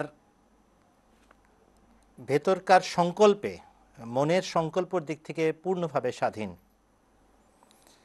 সুরা ফাতেহা পড়ে দেখেন ভাই, ইয়াকা না আবুদু ও ইয়াকা নাস্তাইন প্রথম ঘোষণা মানুষ দেয়, হে আল্লাহ, তোমার রূপ সৌন্দর্য অবলোকন করেছি, অনুধাবন করেছি, এখন সিদ্ধান্ত নিলাম, একমাত্র তোমাকেই আমি উপাস্যরূপে মানব, তোমাকেই কেবল উপাসনা করব। কেবল তোমারই উপাসনা করব। কিন্তু উপাসনা সম্ভব নয় তোমার সাহায্য ছাড়া। এই জন্য সাহায্য যাচনা করি।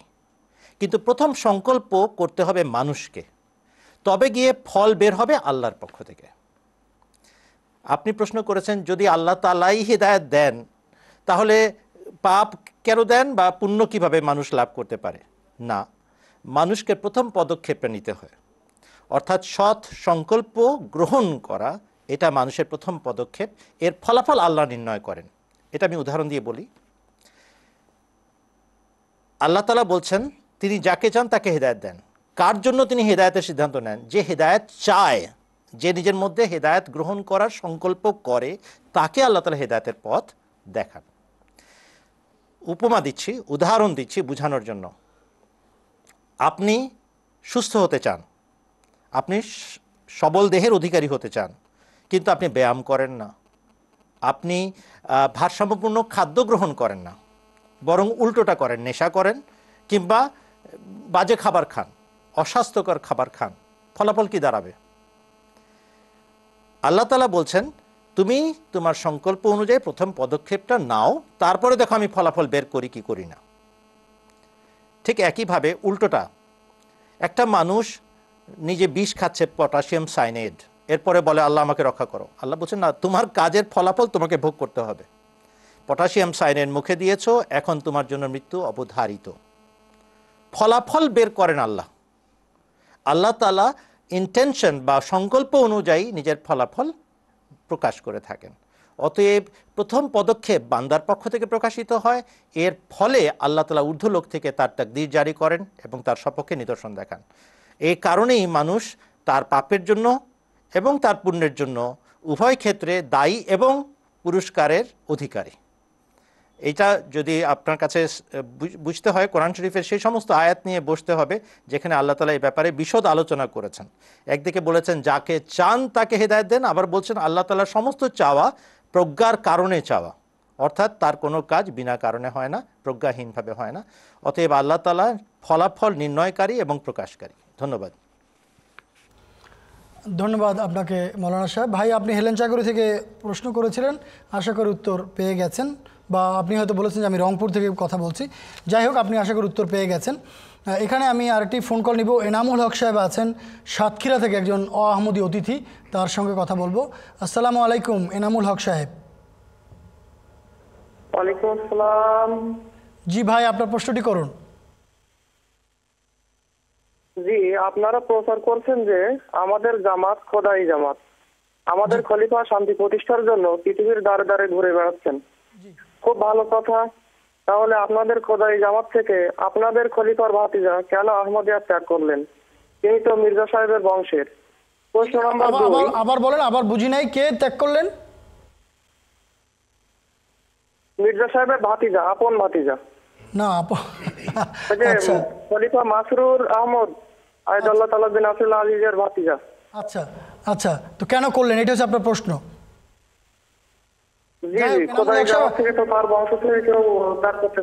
আচ্ছা আচ্ছা ধন্যবাদ। আশা করি প্রশ্নটি আমরা বুঝতে পেরেছি। মৌলানা ফিরোজ আলম সাহেব যদি উত্তর দেন উনি বলছেন যে মসরুর সাহেবের ভাতিজা এই খোদাই জামাতের ওনার ভাতিজা কেন জামাত ছেড়ে দিল? যদিও আমার এখানে প্রশ্ন উনি লিখেছিলেন আরেকটি এখন আরেকটি প্রশ্ন করেছেন। এই আপনি যার কথা বললেন, যার সাথে জামাতে আহমদিয়ার বর্তমান ইমামের সম্পর্ক কথা বললেন, এই কথাটি ভিত্তিহীন। যদিও সোশ্যাল মিডিয়াতে এক ব্যক্তি এমন দাবি করেছে যে, আমি তার ভাতিজা, আমি তাদেরকে মিথ্যা পেয়েছি, তাদেরকে ছেড়ে দিয়েছি। তো ভালো করে শুনে নেন যে, এ ব্যক্তি এক অপপ্রচারক এবং সে মিথ্যা বলেছে। হজরত মির্জা মসরুর আহমদের সাথে আয়াদাহুল্লাহ তালাবেন রাজির সাথে তার কোনো সম্পর্ক নেই বা মসিমদের বংশের সাথে তার কোনো তার কোনো সম্পর্ক নেই। কিন্তু অনেক সময় সম্পর্ক থাকলেও শুধু সম্পর্কের কারণে সবাই হেদায়েত পেতে পারে না। এখানে তো এই কথাটা মিথ্যা। এই কথার কোনো সম্পর্কই নেই আপনি যা বলেছেন তার সাথে জামাতে আহমদিয়ার। কিন্তু আরেকটা কথা আপনাকে বলি কোরআন শরীফে আছে যে আত্মীয়তা নয়, রক্তের সম্পর্ক থাকলেও অনেক সময় সত্য ব্যক্তিকে, সত্য জামাতকে রক্ত সম্পর্কের আত্মীয় মানতে পারে না। কোরআন শরীফ পড়েন নাই? হজরত নূ আলাহ ইসলামের ছেলে, তার পুত্র ছিলেন, পুত্র ছিল বলতে হবে, ছিলেন না। পুত্র বাপকে সত্য মানেনি নবী হিসাবে, অস্বীকার করেছে। নোয়াল ইসলাম বলেছেন যে, হে আমার পুত্র, কেউ রক্ষা করবে না। আল্লাহর নবীর এই নৌকাতে আশ্রয় নাও। পুত্র বলছে যে, না, আমি মানি না। আমি পাহাড়ের চূড়ায় গিয়ে আশ্রয় নেব। ইয়াসেমনি মিনাল মা, এ ধরনের শব্দ আছে যে, পাহাড়ের চূড়ায় থাকব। আমি আমি পানি থেকে রক্ষা পাবো। পানি সেখানে পৌঁছবেই না। হজরত নু আলাইসাল্লাম বলছেন, লা আসিম আলী ইয়মা ইল্লা আমার রাহিমা রব্বি। যে আজকের দিন আমার প্রভুর রহমত ছাড়া কেউ তোমাকে রক্ষা করবে না। যখন তুফান এবং বন্যা আসলো, পাহাড়, পাহাড়ের চূড়াও তলিয়ে গেল পানির তলায়। রক্ষা করেনি পুত্রকে কেউ, এমনকি পিতাও রক্ষা করতে পারেননি। পিতার যে স্নেহ ভালোবাসা পুত্রকে ডুবতে দেখে আল্লাহ তালার কাছে মিনতি করে যে, আল্লাহ তুমি বলেছিলা যে আমার আহলকে রক্ষা করবা। ইন্নাবনি মিনাহলি। আল্লাহর কাছে আকুতি করছেন যে, হে আল্লাহ, আমার ছেলে, আমার আহেল তো। আল্লাহ তালা বলেন যে ইন্নাহুল্লাহ ইসামিন আহলেক সে তোমার আহেল নয়। তার অর্থ হলো, নবীর আহেল তারা হয়ে থাকে যারা নবীকে মানে। রক্তের ঔরসজাত সন্তানও আহেল হয় না, যদি পিতা নবীকে না মানে। এটা তো আমি আপনাকে এক জায়গা থেকে অন্য জায়গায় নিয়ে যাচ্ছি। তো বললাম যে ছেলেও যদি না মানে নবী, পিতা নবী মিথ্যা হন না। তার এই ক্ষেত্রে তো আপনার কথা পুরোটাই মিথ্যা।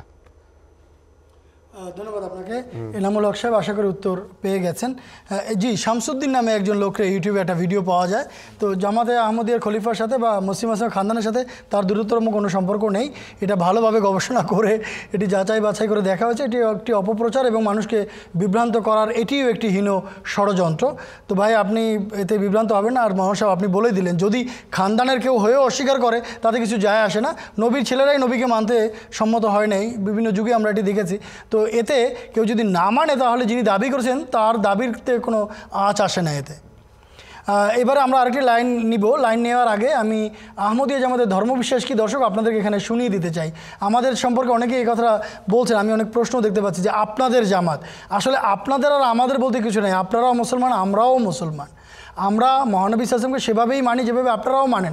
আমাদের বিরুদ্ধে বাজারে বন্ধুর কিছু অপপ্রচার আছে, যে অপপ্রচারের কারণে মানুষ বিভ্রান্ত হয় বা বিভিন্ন ধরনের কথা বলে। তাই আপনাদের কাছে আমরা জানিয়ে দিতে চাই, আমাদের ধর্মবিশ্বাস কি? এটি শোনার পর বিচারের ভার আপনাদের হাতে থাকবে। চলুন, ইমাম মাহাদি আল ইসলাম যে আমাদের ধর্মবিশ্বাস কী নিরূপণ করেছেন সেটি শুনে নেই। হজরত মির্জা গোলাম আহমদ কাদিয়ানি, প্রতিষ্ঠিত মসিহ ও মাহদি আলহিসাল্লাম বলেছেন, আমি সত্য বলছি এবং খোদা তালার কসম খেয়ে বলছি আমি এবং আমার জামাত মুসলমান। এ জামাত মহানবী সাল্লাল্লাহু আলহিসাল্লাম ও কোরআন করিমের প্রতি ঠিক সেভাবেই ইমান রাখে, যেভাবে একজন সত্যিকার মুসলমানের ইমান রাখা উচিত। ইসলাম থেকে কিঞ্চিত পরিমাণ পদস্খলনকে আমি ধ্বংসের কারণ বলে বিশ্বাস করি। আমার বিশ্বাস হলো, এক ব্যক্তি যত কল্যাণ ও বরকত লাভ করতে পারে, যতটা আল্লাহ তালার নৈকট্য অর্জনে সক্ষম, শুধুমাত্র মহানবী সাল্লাল্লাহু আলহি ওসাল্লামের সত্যিকার আনুগত্য ও পূর্ণ প্রেমের মাধ্যমেই সে তা লাভ করতে পারে, তা না হলে নয়। তাকে, অর্থাৎ রসুল করিম সাল্লাহ আলাইসাল্লামকে বাদ দিয়ে এখন পুণ্যের আর কোনো পথ নেই। লেকচার লুধিয়ানা, পৃষ্ঠা বারো। মলফুজাত অষ্টম খণ্ড পৃষ্ঠা দুশো চব্বিশ দুশো পঁচিশ। প্রিয় দর্শক আমরা আহমদী জামাতের ধর্মবিশ্বাস সম্পর্কে শুনছিলাম। আলমগীর হোসেন সাহেব আছেন নাটোর থেকে একজন লাইনে। আলমগীর হোসেন সাহেব আমরা তার সঙ্গে কথা বলতে চাই। আসসালামু আলাইকুম ভাই আলমগীর সাহেব। আলমগীর সাহেব কি লাইনে আছেন নাটোর থেকে? জি জি জি জি লাইনে আছি লাইনে আছি। জি ভাই ভাই ভাই প্রশ্নটি করুন। আমার প্রশ্ন হচ্ছে হরজত ইসা আলাহ সাল্লামের জন্ম মৃত্যু এটা আমাকে বিশ্লেষণ করবেন আর ইমাম মাহদি আলাহ সাল্লামকে আপনারা কোন ধরনের নবী দাবি করছে? আর আরেকটা প্রশ্ন হচ্ছে আমাদের যে ইস্তেমা হয় ঢাকাতে তাবলিগ জামাতের এটা আমরা তো মনে করি দ্বিতীয় হজ। এটা আমাকে একটু বিশ্লেষণ করবেন। আর আরেকটা প্রশ্ন হচ্ছে যে ইমাম মাহদি আল্লাহ সাল্লাম যে পৃথিবীতে আসছেন উনি এটা তো পুরো ইয়ে ছিল। আমরা তো জানি একটা নমুনা থাকবে যেমন অন্যায় বিচার বেড়ে যাবে মিথ্যা জুলুম হবে উনি আসবে পৃথিবীতে মানুষকে আবার নতুন করে বুঝাবে বুঝায় ইসলামের পথে নিয়ে আসবে। আমাকে এটা একটু বিশ্লেষণ করবেন। জি ধন্যবাদ। ধন্যবাদ আলমগীর সাহেব। আপনি অনুষ্ঠানটি মনোযোগ দিয়ে দেখতে থাকেন। খুবই সুন্দর প্রশ্ন এবং এটি জানানোর জন্যই আমরা মূলত এই অনুষ্ঠানের আয়োজন করেছি। মৌলানা আব্দুল আওয়াল সাহেবের কাছে যাই প্রশ্ন তিনটি নিয়েই। মৌলানা সাহেব আশা করি আপনি প্রশ্ন তিনটি শুনেছেন। উত্তর দিবেন দয়া করে।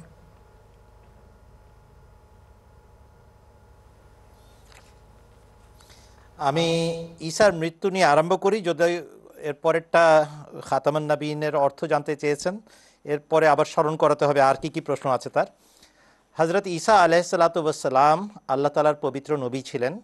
তিনি ইহুদিদের সংশোধনের জন্য এসেছিলেন। বানি ইসরায়েলি জাতির প্রতি আল্লাহর প্রেরিত রসুল ছিলেন। রসুলান ইলা বানি ইসরাইল। এই কথা আমাদের ইমানের অংশ। কোরআন শরীফে এইভাবেই ঘোষণা দেওয়া আছে। তিনি পবিত্র নবী ছিলেন, পবিত্র রসুল ছিলেন এবং তিনি বানি ইসরায়েলি জাতির জন্য প্রেরিত হওয়া সত্ত্বেও তাকে আমরা আকাশে জীবিত বসে আছেন বলে মানি না। কেন মানি না? এই জন্য মানি না, কোরআন শরীফ তাকে মৃত বলে ঘোষণা করে। কোরআন শরীফ তাকে কি, কীভাবে মৃত ঘোষণা করে? যেভাবে অন্যান্য সমস্ত নবী রসুলকে মৃত ঘোষণা করে, সেভাবেই কোরআন শরীফ হজরত ঈসা আলাইসাল্লামকে মৃত ঘোষণা করে। উদাহরণস্বরূপ আউজবিল্লাহ মিনা শৈতানির রজিম ওয়ামা মুহাম্মাদুন ইল্লা রসুলুন কদ খালাত মিন কাবলিহির রসুল সুরা আল ইমরানের একশো পঁয়তাল্লিশ নম্বর আয়াতে আল্লাহ তালা বলছেন হজরত মোহাম্মদ মুস্তাফা সাল্লাহ আলাইসাল্লাম আল্লাহর একজন রসুল ছাড়া আর কিছুই নন। কদ খালাত নিশ্চয়ই গত হয়ে গেছেন। মিন কাবলেহি তাঁর পূর্বেকার। আর রসুলও সমস্ত রসুল।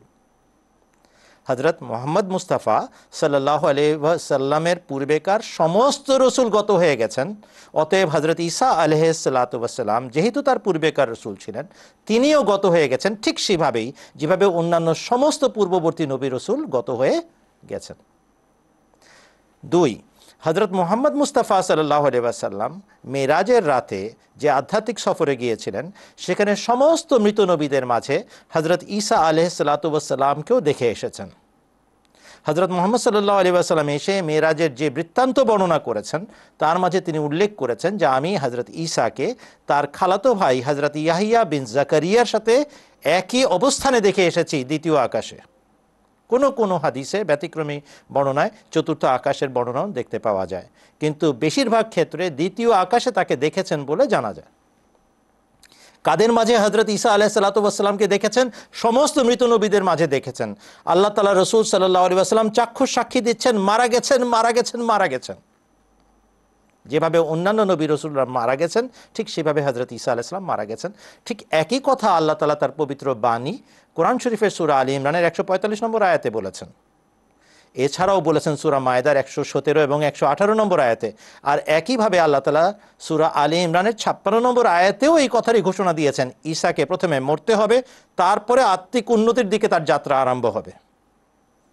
অতএব একের পর এক সাক্ষ্য, আয়াত সাক্ষী দিচ্ছে, ঈসা আলাইসালাম মারা গেছেন, আমরা মুসলমান আল্লাহ তালার পবিত্র বাণীকে মানতে বাধ্য, কোরআনের প্রতি আমরা ইমান রাখি, তাই আমরা বিশ্বাস করেছি, রসুলের সাক্ষী অনুযায়ী বিশ্বাস করেছি, ঈসা আলাহ সাল্লাতাম মারা গেছেন।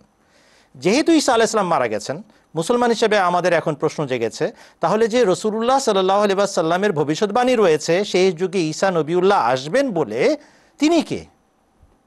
তখন আমরা জানতে পারলাম রসুল্লাহ সাল্লাহ আলী আসালাম নিজে বলেছেন, ওয়ালাল মাহাদিও ইল্লা ইসাবনু মারিয়ামা। ইবনে মাজা শরীফের হাদিস।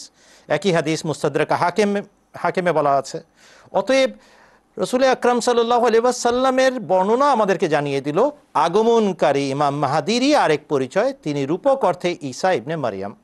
ঈশার মতো যুগে ঈশার মতো দায়িত্ব নিয়ে ঈশার মতো রোগ চিকিৎসা পদ্ধতি অবলম্বন করবেন বলে তাকে হজরত মোহাম্মদ সাল্লাহ আলী আসালাম ঈসা নাম রেখেছেন। খাতামান নবীন সাল্লাহ আলিবাসাল্লামের পরে ঈসা ইবনে মারিয়াম কী ধরনের নবুত নিয়ে আসবেন? আপনারা ইমাম মাদি আলাইসাল্লামকে কী ধরনের নবুতের অধিকারী বলে মান্য করেন? এটা ছিল আপনার দ্বিতীয় প্রশ্ন। হজরত ইমাম মাহাদি আলাইসাল্লাম রসুল্লাহ সাল্লাহ আলিবাসাল্লামের পূর্ণ অনুসরণকারী, পূর্ণাঙ্গীন দাস হিসেবে এসেছেন।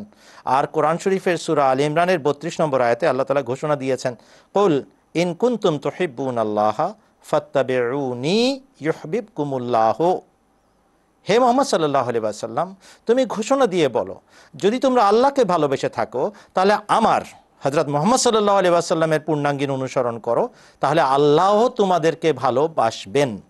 এই যে আল্লাহ তালার রসুলের আনুগত্যে আল্লাহ পাবার পথ উন্মুক্ত করা হয়েছে, এই পথ ধরে হজরত ইমাম মাহাদি আলাইসাল্লাম আল্লাহ নৈকট্য লাভ করেছিলেন।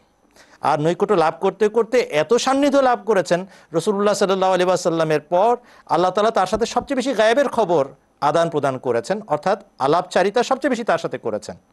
আর এই কথাই কোরআন শরীফে বলা আছে ওমাইয়তে ইল্লাহ আবার রসুলা ফউলাইকা মা আল্লাজিনা আন আল্লাহ আলাইহিম মিনান্নবিয়িনা ওয়া সিদ্দিকিনা ওয়া শুহাদায় ওয়া সালিহিন ওয়া হাসুনা উলাইকা রফিকা। যারা আল্লাহ এবং এই পূর্ণাঙ্গীন রসুল হজরত মোহাম্মদ মুস্তাফা সাল্লাহ আলিবাসাল্লামের আনুগত্য করবে, তারা পুরস্কার প্রাপ্ত দলের অন্তর্ভুক্ত হবে। অর্থাৎ নবীদের অন্তর্ভুক্ত হবে, সিদ্দিকদের অন্তর্ভুক্ত হবে, শহীদদের অন্তর্ভুক্ত হবে, সালেহ নেক বান্দাদের অন্তর্ভুক্ত হবে। এই কথা ঘোষণা সুরানিসার সত্তর নম্বর আয়তে আল্লাহ দিয়ে রেখেছেন। শর্ত কি? আল্লাহর আনুগত্য, রসুলের আনুগত্য। তাদেরকে বাদ দিয়ে আল্লাহ পাওয়া যায় না। আল্লাহর আনুগত্যকে বাদ দিয়ে আল্লাহ পাওয়া যায় না। আল্লাহ রসুল হজরত মোহাম্মদ সাল্লাহ আলী আসালামকে বাদ দিয়ে আল্লাহর নৈকট্য লাভ করা যায় না। কিন্তু এই শর্তপূর্ণ হলে আল্লাহ লাভ করা সম্ভব, যদি আল্লাহর কারও প্রতি অনুগ্রহ করেন। আর হজরত ইমাম মাহাদি আলাইসলাম এই পদ দিয়েই আল্লাহর নৈকট্য লাভ করেছেন। যাকে আল্লাহ তালা বেশি বেশি গায়েবের সংবাদ দান করেন, অদৃশ্য বিষয় সংবাদ দান করেন, ভালোবাসার বাণী প্রদান করেন আল্লাহর শরীয়তের উপর আমল করার পুরস্কার দান করেন, তাকে উম্মতি নবী বলা হয় নবী বলা হয়, আনুগত্যকারী নবী বলা হয়, দাসত্বের নবী বলা হয়। আমি আরেকটা শব্দ ব্যবহার করি হজরত মোহাম্মদ সাল্লাহ আলিবাসাল্লামের চাকর নবী বলা হয়, অর্থাৎ তার বাগানের চাকর, তার বাগান সামলানোর দায়িত্ব তাকে দেওয়া হয়েছে। এই অর্থে আমরা হজরত ইমাম মাহাদি আলাহ ইসলামকে মূল্যায়ন করি, রসুলকে বাদ দিয়ে কোনো ইমাম মাহাদি নাই। রসুলের আনুগত্য বাদে কেউ আল্লাহ নৈকট্য লাভ করতে পারে না হজরত মির্জা সাহেবও পারেননি। আনুগত্যের মাধ্যমেই তাকে আল্লাহ লাভ করতে হয়েছে। ধন্যবাদ। ধন্যবাদ মৌলানা সাহেব। এখানে ওনার আরও দুটি প্রশ্ন ছিল। একটা ছিল যে আমরা বিশ্ব ইজতেমাকে দ্বিতীয় হজ বলে মনে করি। আপনারা কি মনে করেন? এক। আর আরেকটি প্রশ্ন ছিল যে ইমাম মাহাদি যখন আসবেন, তখন তো বিভিন্ন লক্ষণাবলী দেখা যাবে। ইমাম মাহাদির আবির্ভাবের বিভিন্ন লক্ষণাবলী থাকবে বা কেয়ামতের বিভিন্ন লক্ষণাবলী থাকবে। এ সম্পর্কে আপনারা কি কি বলতে চান?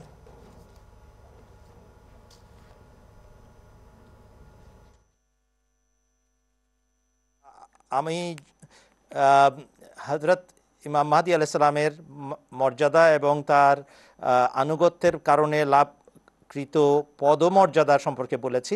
এখন আমি বলছি, বিশ্ব ইজতেমা সম্পর্কে আপনার প্রশ্নের উত্তর। বিশ্ব ইজতেমা বা আন্তর্জাতিক ইজতেমা বা তবলিগি জামাতের ইজতেমা যাই বলেন, কোরআন শরীফে তার কোনো উল্লেখ নাই। আপনারা দ্বিতীয় হজ নাম দেন, তৃতীয় হজ নাম দেন, চতুর্থ হজ নাম দেন, কোরআন শরীফে তার কোনো উল্লেখ নাই। রসুল আকরাম সাল্লাহ আলিবাসাল্লামের সুন্নতের মাঝে এর কোনো উল্লেখ নাই। সহি হাদিসে এর কোনো স্থান নাই। অতএব নেক নিয়ত সমাগম ঘটছে, কিন্তু তাকে হজের সাথে তুলনা করা, এটা কীরকম কথা? শরীয়তের মধ্যে নতুন একটা সংযোজন বই কি? এই জন্য আপনাদের প্রধান দৃষ্টি আকর্ষণ করছি, যেখানে আপনাদের ডিঙি নৌকা বাঁধতে বলা হয়েছে রসুলের পক্ষ থেকে, সেখানে বাঁধেন। কোথায় ঘুরে বেড়াচ্ছেন? অমুক সাহেবের হাতে বয়াত করে, তমুক সাহেবের হাতে বয়াত করে।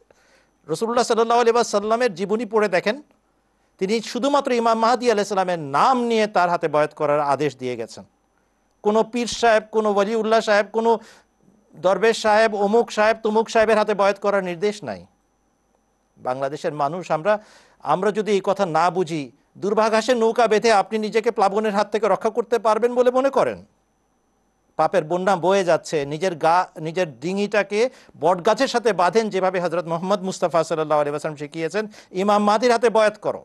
তার সাথে নিজের আত্মিক বন্ধন রচনা করো, তবে পাপের হাত থেকে রক্ষা পাবে, তা নাহলে ভেসে যাবে এই প্লাবনে।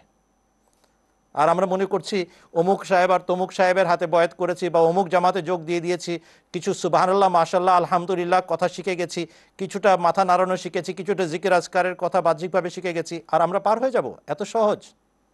জি না হজরত মোহাম্মদ মুস্তাফা সাল্লাহ উম্মতের জন্য আদেশ ফাইজারা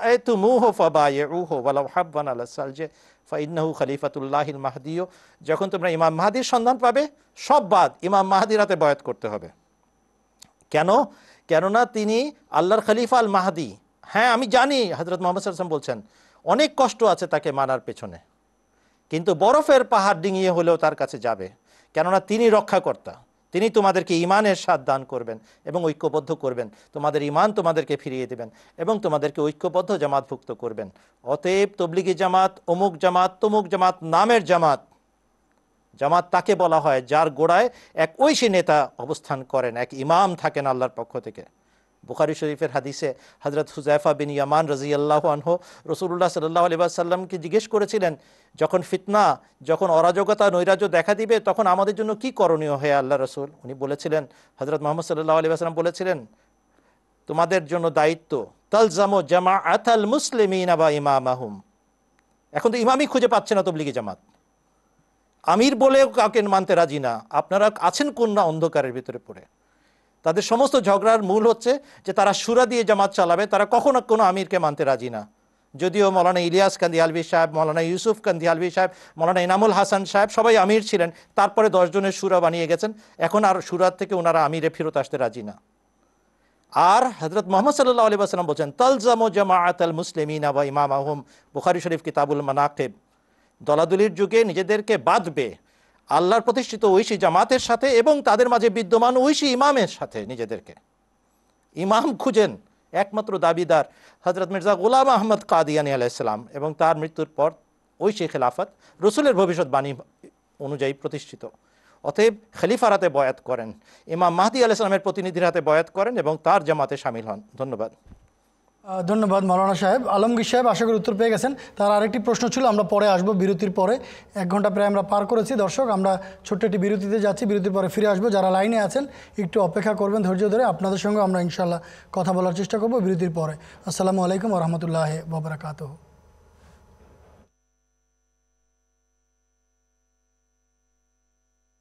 ये जलसा हमारा ये दिन برکتوں کے خدا کی انعیات اور شفقتوں کے یہ جلسہ ہمارا وہ نور و نہایا، حسین شہزادہ، مسیحا کے ممبر ہے زیب جلوہ۔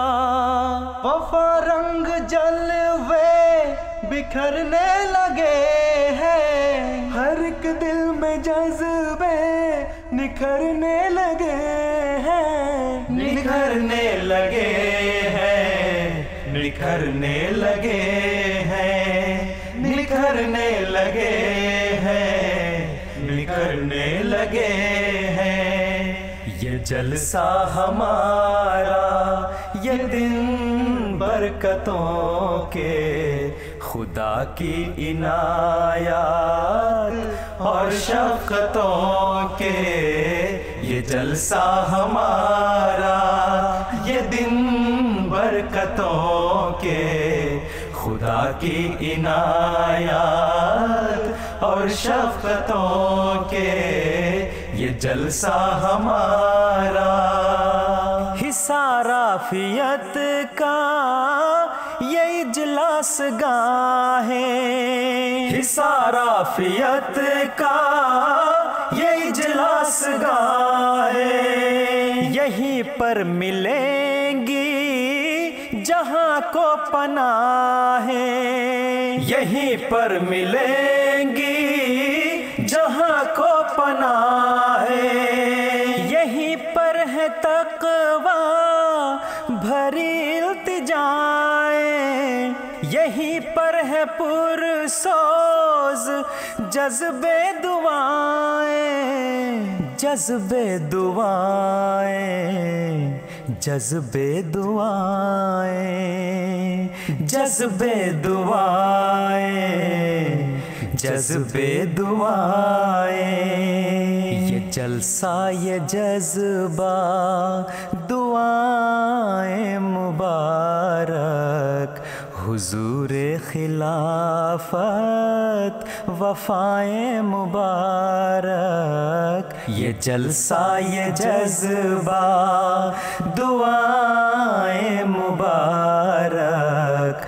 حضور خلافت، وفائے مبارک۔ یہ دن ہو مبارک مبارک ہو یہ دن۔ یہ دن ہو مبارک مبارک ہو یہ دن۔ خلافت سے پر نور، یہ ماہ یہ سن ضیافت سے پر نور یہ ماہ یہ سندھ ضیافت سے پر نور، یہ ماہ یہ سن یہ جلسہ ہمارا، یہ دن برکتوں کے خدا کی نایات اور شفقتوں کے، یہ جلسہ ہمارا، یہ دن برکتوں کے خدا کی عنایات اور شفقتوں کے یہ جلسہ ہمارا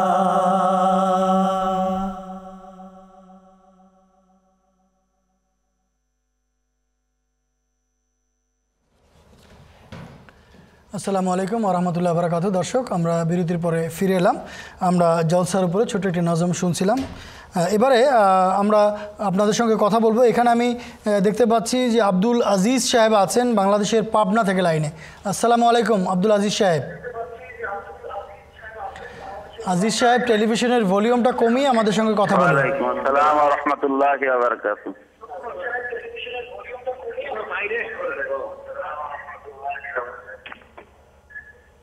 জি আজিজ সাহেব বলুন।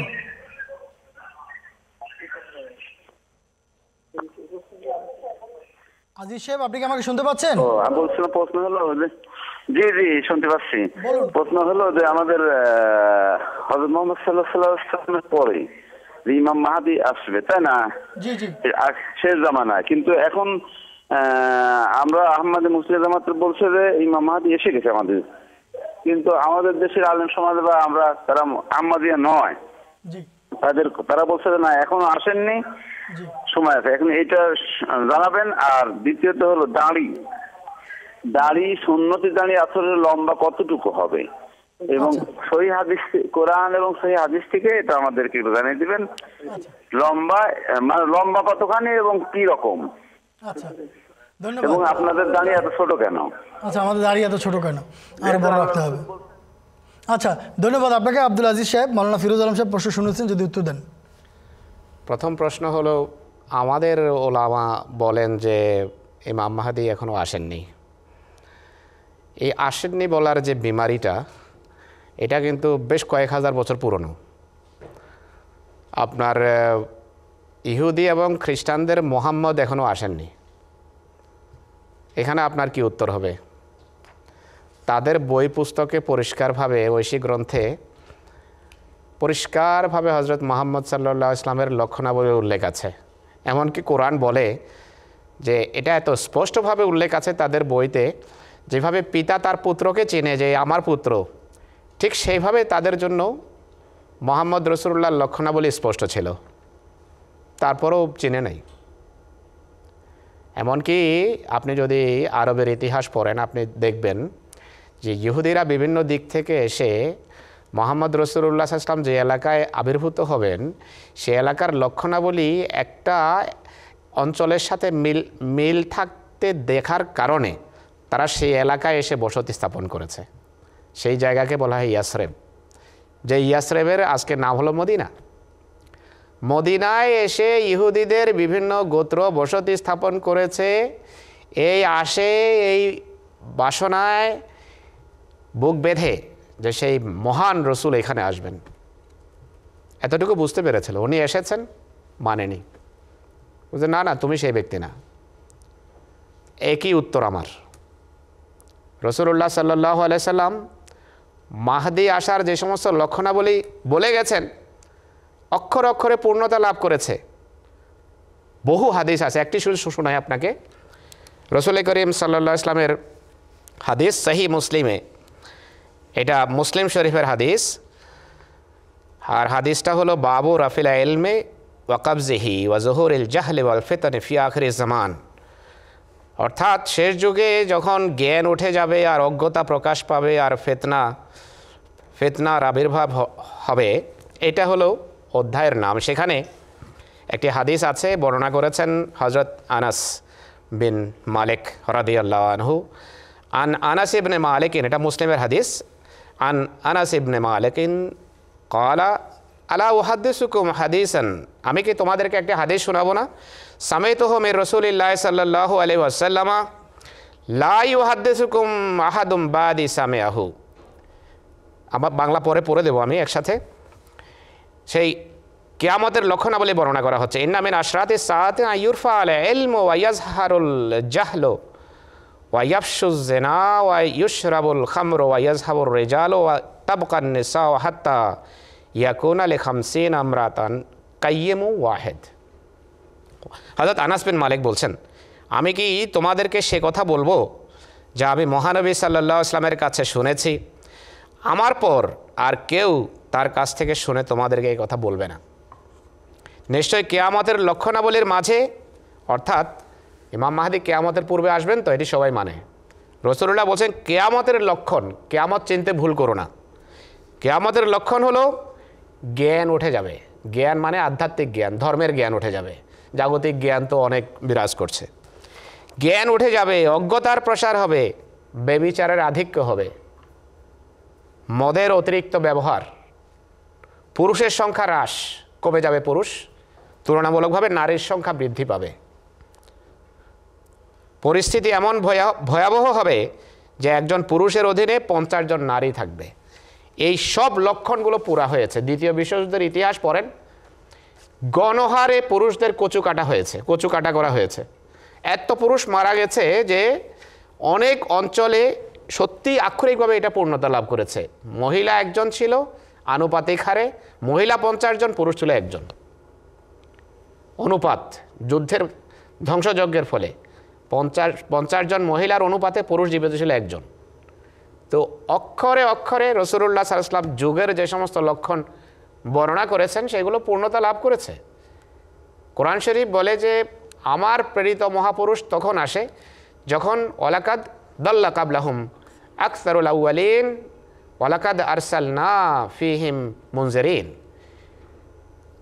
অতীতে যখনই সংখ্যাগরিষ্ঠ শ্রেণি পদভ্রষ্ট হয়েছে, আমি তাদের মাঝে আমার সতর্ককারী প্রেরণ করেছি। আজকে দুনিয়ার একটা দেশ বলেন, যেখানে সংখ্যাগরিষ্ঠ শ্রেণি হেদায়তের উপর আছে। মেজরিটি বিভ্রান্তিতে লিপ্ত। অনাচার, কদাচার, পাপাচারিতা, মিথ্যা, জালিয়াতি কোনো দেশের মানুষ লোকদেরকে নিরাপদ মনে করে না। মুসলমান দেশ হোক বা অমুসলিম দেশ হোক। তো পরিস্থিতি তো এমন হয়ে গেছে, আক্ষরিক অর্থে কেয়ামতের সব লক্ষণ পূর্ণ হয়েছে। না মানলে একই অবস্থা হবে, ইহুদিরা আজও হজরত মোহাম্মদ সাহা ইসলামের জন্য অপেক্ষায় আছে। এখানেও পরিণতি একই হবে, আল্লাহ তালা রক্ষা করুন সবাইকে। ধন্যবাদ আপনাকে, মৌলানা সাহেব। এই ভাইয়ের প্রশ্ন ছিল যেটার আপনি দিয়ে দিলেন। আলমগীর সাহেব যে নাটোর থেকে প্রশ্ন করেছিলেন, কেয়ামতের লক্ষণাবলী, সেটিও এই হাদিসে স্পষ্ট হয়ে গেছে। কেয়ামতের লক্ষণাবলী সম্পর্কে হাদিসে বিভিন্ন জায়গায় আছে। তো, প্রিয় দর্শক, যেহেতু আমাদের এই অনুষ্ঠান সবসময় আমরা নিয়ে হাজির হই, আমরা সময় সময় আপনাদেরকে দেখাতে থাকব। মৌলানা সাহেব কোরআনের দুটি আয়াত পড়েছেন সুরাজ সাফাতের বাহাত্তর এবং তিয়াত্তর নম্বর এই দুটি আয়াত পড়েছেন। আপনারা আয়াত দুটি দেখে নিতে পারেন কোরআন খুলে। মৌলানা সাহেব, আব্দুল আজিজ সাহেবের আরেকটি প্রশ্ন ছিল, দাড়ি আপনাদের ছোটো কেন দাড়ি কতটুকু লম্বা হতে হবে? আমি জানি এই উত্তর দিতে আপনি চান না, তারপরও দিবেন। দাড়ি সম্পর্কে স্মরণ রাখতে হবে যে রসুল করিম সাল্লা ইসলাম দাড়ি সম্পর্কে শুধু এতটা বলেছেন যে কুসু সওয়ারেব অর্থাৎ মোচ ছোট করো আর দাড়ি যেন মোচ থেকে আনুপাতিক হারে তুলনামূলকভাবে লম্বা হয়। এটি হাদিসে উল্লেখ আছে, এর বেশি না। তো রসুল করিম সাল্লাহ ইসলামের একটি সুন্নত, হুজুর সাল্লাহ ইসলামের অন্য অন্য হাজার হাজার সুন্নতের মতো এটি একটি সুন্নত, যে যে পারে তার একশত ভাগ এই সুন্নতের উপর অনুসরণ করা উচিত। আমরা এই বিশ্বাস করি যে তার প্রতি ভালোবাসার কারণে মানুষের মোজটা তুলনাভাবে ছোট হওয়া উচিত, দাড়িটা তুলনামূলকভাবে লম্বা হওয়া উচিত। কিন্তু দাড়ি একেবারে নাভি পর্যন্ত নেমে আসার মানে হলো রসুল্লার অনুসরণ না। পৃথিবীর অগণিত এমন মানুষ আছে যারা মুসলমান নয়, কিন্তু তাদের দাঁতের দাড়ি অনেক লম্বা লম্বা। মোহাম্মদ রসুল্লাহর আজকের যুগে যারা সবচেয়ে বড় শত্রু, তা এই যে শ্রেণি আছে পরিষ্কার করে বলতে কোনো অসুবিধা নেই যে আজকের ইহুদিয়ত যেটি। মুসার ইসলামের শিক্ষা থেকে যারা বিচ্যুত, তারা তাদের মৌলবীদের দাড়ি একেবারে নাভি পর্যন্ত লম্বা, কিন্তু তারা রসুল্লাহ সবচেয়ে বড় শত্রু। তাই এটি বলা যাবে না যে এটি সুন্নতি কোনো লক্ষণ। তো আমি দাড়ি সম্পর্কে বেশি বলা পছন্দ করি না আপনি নিজেই বলেছেন এতটুকু যথেষ্ট। এছাড়া আমাদের উপমহাদেশে আমরা যারা শিখদের সম্পর্কে জানি তাদেরও বিশাল বড় দাড়ি জীবনে কোনোদিন কাটাই নেই। এরকম দাড়িও আছে। আর অনেক রসুল করিম সাহেবের অনেক সাহাবি ছিলেন যাদের দাড়ি খুব কম ছিল। তার অর্থ এই না যে তারা রসুল্লাহকে ভালোবাসতেন না দুনিয়ার সংখ্যাগরিষ্ঠ শ্রেণি মানুষ এমন যাদের দাড়ি হয় না মুখে।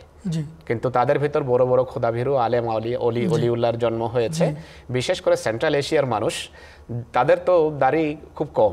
চীন জাপান ইন্দোনেশিয়া হ্যাঁ, হ্যাঁ, এখানে গেলে চীন জাপান ইন্দোনেশিয়া তো আছেই। সেন্ট্রাল এশিয়াতে যেখানে ইসলামের ব্যাপক প্রসার ঘটেছে পারস্য সব পারস্যের অধীনে যে অঞ্চলগুলো ছিল ইমাম বুখারি এবং অন্যান্য বড় বড় ইসলামের আলেমেরা এই অঞ্চলের সাথে সম্পর্ক রাখেন। সামারকান বুখারা তাদের এলাকায় খুব বেশি দাড়ি ছিল না। তো এটা কিন্তু একমাত্র মাপকাঠি না ইসলামের। জি জি জি। ধন্যবাদ, এটা মহাশয়, আপনাকে ধন্যবাদ। এছাড়া মহাশয় আপনি যে আগের হাদিসটার আলোকে বললেন যে নারীর প্রাধান্য যেটা বললেন, নারীর সংখ্যা বৃদ্ধি পাওয়া, গত কয়েকদিন আগেই পত্রপত্রিকা আমরা দেখেছি, সৌদি সরকার এখন ঘোষণা দিয়েছে যে বহির্বিশ্বের মানুষও সৌদি নারীদেরকে বিয়ে করতে পারবে। নতুন একটি ঘোষণা এসছে পত্রিকায়। বেশ ভালো চর্চা হচ্ছে আগে রেজিস্ট্রেশন করতে হবে। কারণ হিসেবে তারা যেটা দেখিয়েছে সেটা হচ্ছে সৌদি আরবে পুরুষের তুলনায় নারীর সংখ্যা বেশি। এটা কয়েকদিন আগের পত্রিকায় এসছে। বাংলাদেশের মানুষ এটি জানবেন এই আব্দুল আজিজ সাহেব আপনি যে প্রশ্ন করছেন আপনি হয়তো এই সংবাদটি পড়ে থাকবেন। তো ফাঁসি দিতে দিতে পুরুষের সংখ্যা কমে গেছে ওখানে। যুদ্ধ হোক বা পুরুষের ফাঁসি হোক যেটাই হোক তো পুরুষের সংখ্যা কমে গেছে। নবী করিম সাহসামের হাদিস আসলে অক্ষরে অক্ষরে পূর্ণতা পাচ্ছে। বিভিন্নভাবে বিভিন্ন দিক থেকে বিভিন্ন আঙ্গিকে সেটি আসলে আমরা বোঝানোর চেষ্টা করছি। কোনো বাড়তি কথা নয়। এখানে আমি একটি ফোন লাইন নিচ্ছি মৌলানা আউয়াল সাহেবের কাছ থেকে উত্তর শুনব। এখানে আছেন সাজ্জাদ হোসেন সাহেব হেলেন চাকুরি থেকে আহমদি অতিথি। আসসালামু আলাইকুম সাজ্জাদ হোসেন সাহেব। ওয়ালাইকুম আসসালাম জি ভাই। জি আমার প্রশ্ন দুইটা এক নম্বর হচ্ছে আপনারা তো জান্নাতি হিসেবে একজনকে মেনেছেন। আমরা তো কাউকে মানি নাই। মৃত্যুর পর তাহলে আল্লাহ আমাদের সাথে কি ব্যবহার করবেন? আমরা তো মহানবী সাল্লাল্লাহু আলাইহি মেনেছি। দ্বিতীয় প্রশ্ন হচ্ছে, আহমদী জামাত যে জান্নাতি জামাত, তা হাদিস কোরআন দ্বারা বুঝিয়ে বলুন। ধন্যবাদ। মৌলানা আউয়াল সাহেব, আপনি কি প্রশ্নটি শুনতে পেয়েছেন? না হয় আমি বলে দিতে পারি আপনাকে।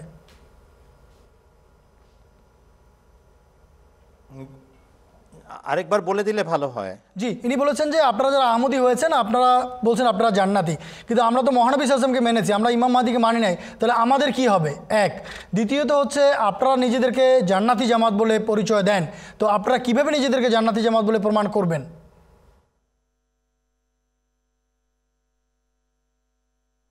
ধন্যবাদ ধন্যবাদ। কোরআন শরীফেও এটার উত্তর দেওয়া আছে। নবীরা যখন এসে দাবি করেন তখন নবীদের অস্বীকারী জাতি বলে আমাদের পূর্ববর্তী যারা গত হয়ে গেছেন, তাদের সাথে আল্লাহর কি হিসাব কিতাব হবে? আল্লাহ তালা বলেন, কোল ইলমোহা আইন রাব্বি। তুমি ঘোষণা দিয়ে বলো, এই বিষয়ে একমাত্র জ্ঞান রাখেন আল্লাহ। নাজাত কাকে দিবেন কাকে দিবেন না? কাকে আল্লাহ তালা জান্নাত দিবেন, কাকে আল্লাহ তালা দোজকে পাঠাবেন? এটার বিচারের রায় আমরা এখানে দিতে পারি না। আমাদের কাজ হচ্ছে আল্লাহর আনুগত্য করা। এবং চাচা, আপন প্রাণ বাঁচা, এই কথায় এই কথায়, এই মানসিকতায় জীবন কাটানো আমাদের কাছে একটা নিয়ামতের সংবাদ এসেছে, এখন আমি দুই যোগ দুই যোগ চারের হিসাব করব না, আমি হিসাব করব যে আমি কীভাবে নিজের প্রাণ রক্ষা করব। আমি কীভাবে ইমানের পরীক্ষায় পাশ করব। অতএব ভাই, কি হবে না হবে, আমাদের কাছে এটার উত্তর একটাই কোরআন শরীফ বলে, আল্লাহ তালা জানেন কি হবে তাদের সাথে, যারা জেনে শুনে অস্বীকার করছে আর যারা সাহসী করছে না বিষয়টা যাচাই করার জন্য। নাজাতের ব্যাপারে আমাদের হাতে কোনো রকমের সিদ্ধান্ত দেওয়ার অধিকার দেওয়া হয়নি। আমরা আল্লাহর কাছে মাথা নত করি এবং বান্দা হিসাবে তার কাছেই সিদ্ধান্ত চাই। তবে আল্লাহ তালা বলেছেন, যারা পুরস্কার লাভের আশায়, আমার সন্তুষ্টি লাভের আশায় কষ্ট করে ইমান আনবে, আমি অবশ্যই তাদেরকে জান্নাত দান করব। আপনি প্রশ্ন করেছেন, আপনারা দাবি করছেন আপনারা জান্নাতি দল। প্রমাণ দেন আপনারা জান্নাতি দল। শুনেন তাহলে। তিরমিজি শরীফ, কিতাবুল ইমান তিরমিজি শরীফ, কিতাবুল ইমান হজরত মোহাম্মদ মুস্তাফা সাল্লাহ আলিবাসাল্লাম বলছেন, তাফাররাকাত বানু ইসরাইলা আমিল্লাতান বনি ইসরায়েল জাতি, হে মুসলমানরা, তোমাদের পূর্ববর্তী জাতি, ইহুদি জাতি, বাহাত্তর ভাগে বিভক্ত হয়েছিল। সতাফতারেকো উম্মতি আলা সালাসিম ওয়াসাবাইন আমিল্লাতান আর আমার উম্মত তেহাত্তর ভাগে বিভক্ত হবে। কুল্লুহুম ফিন্নারে। সবাই আগুনের মধ্যে থাকবে। ইল্লা মিল্লাতান, একটি দল ছাড়া। কালু, মান হুম ইয়া রসুল আল্লাহ সাহাবিরা প্রশ্ন করলেন, হে আল্লাহ রসুল, কারা তারা সৌভাগ্যবান যারা জাহান্নামের দিকে যাবে না, আগুনের পথে যাবে না, বরং জান্নাতের পথের পথিক হবে? পালা মা আনা আলেহে ওয়া সাহাবি হজুর সাল্লাহ আলহাম বললেন, আমি এবং আমার সাহাবা রিজওয়ানুল্লাহ আলহিম আজমাইন যে অবস্থা, ব্যবস্থা, পরিবেশ পরিস্থিতিতে বিরাজ করছি, শেষ যুগে, দলাদলির যুগে, নৈরাজ্যের যুগে যে দল, যে জামাত, সেই একই অবস্থা, ব্যবস্থা, পরিবেশ পরিস্থিতিতে বিরাজমান থাকবে। সেটা জান্নাতি নাজাদ প্রাপ্ত আপনার প্রশ্নের উত্তর, একটি দল নাজাদ পাবে, আর আমরা দাবি করছি আমরা তারা। প্রমাণ দিতে বলেছেন, প্রমাণ শোনেন, বাহাত্তর দল সম্মিলিতভাবে একটি দলকে কাফের বলে। নিজেরা নিজেদের মধ্যে কাদা ছুড়াছুড়ি অবশ্যই করে। কিন্তু সম্মিলিতভাবে, ঐক্যবদ্ধভাবে একজোট হয়ে কেবল একটি দলকে তারা কাফের ঘোষণা করে। সমস্ত আলেম এ ব্যাপারে একমত। আমরা, ওরা বলে, আমরা মুসলমান আলেম ওলামা, একটি দলকে ইসলাম থেকে তাড়িয়ে দিয়েছি, বের করে দিয়েছে। বাপের সম্পত্তি আমার ইসলাম, অতএব আমরা যাকে চাইব রাখব, যাকে চাইব বিদায় করব। ক্রেডিট নিয়ে কথাটা বলে তারা। তারা জানে না, তারা বুঝে না, তারা স্মরণ করে না। হজরত মোহাম্মদ সাল্লাহ আলী সাল্লাম বলেছিলেন, শেষ যুগে বাহাত্তর বেঠিক হবে আর একটি সঠিক হবে। তারা সবাই একজোট বেঁধে নিজেদেরকে বাহাত্তরে বানায় আর একটাকে মুক্তিপ্রাপ্ত, নাজাদপ্রাপ্ত দল সাব্যস্ত করে দেয়। দ্বিতীয় পয়েন্ট এখানেই বলা আছে যে যে সমস্ত ব্যবস্থা, অবস্থা, পরিবেশ, পরিস্থিতি হজরত মোহাম্মদ সাল্লাহ আলী সাল্লামের জামাতে ছিল, ঠিক একইভাবে এই জামাতের মধ্যে প্রতিষ্ঠিত সেই অবস্থা, ব্যবস্থা, পরিবেশ এবং পরিস্থিতি।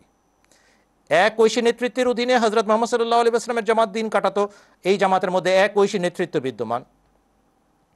ওই জামাতের মধ্যে আন্তর্জাতিক তবলিগের পরিকল্পনা এবং ব্যবস্থা ছিল, এই জামাতের মধ্যে একই বিষয়ে বিদ্যমান। ওই জামাতে সারা পৃথিবীতে বিরোধিতা হতো, এই জামাতেরও সারা পৃথিবীতে বিরোধিতা হয়। সেই জামাতের মধ্যে আন্তর্জাতিক ব্যাতুল মাল ছিল। এই জামাতের মধ্যে আন্তর্জাতিক ব্যাতুল মাল বিদ্যমান, সেই জামাতের মধ্যে আন্তর্জাতিক মজলিসে সুরার ব্যবস্থা ছিল। এই জামাতের মধ্যেও খেলাফতের অধীনে আন্তর্জাতিক সুরা ব্যবস্থা বিদ্যমান। অতএব দুই যোগ দুই যেভাবে চার হয়, ঠিক সেই হিসাবে কোষে দেখেন তিরমিদি শরীফ কিতাবুল ইমানে নাজাদপ্রাপ্ত দলের যে বর্ণনা, হুবহু আহমদিয়া জামাতের সাথে মিলে যায়। অতএব নাজাদপ্রাপ্ত দল এইটি। আপনাকে স্বাগত জানাচ্ছি। ধন্যবাদ আপনাকে, মৌলানা সাহেব। আমরা শুনছিলাম আপনার কাছ থেকে ভাই যে নিপোষ্ট করেছেন, তার প্রশ্নের উত্তর। এবারে আমরা একটি ফোন কল নিচ্ছি। এখানে দেখতে পাচ্ছি তাহমিনা আখতার, তিনি লাইনে আছেন বাংলাদেশের বানিয়াজান থেকে। আসসালামু আলাইকুম।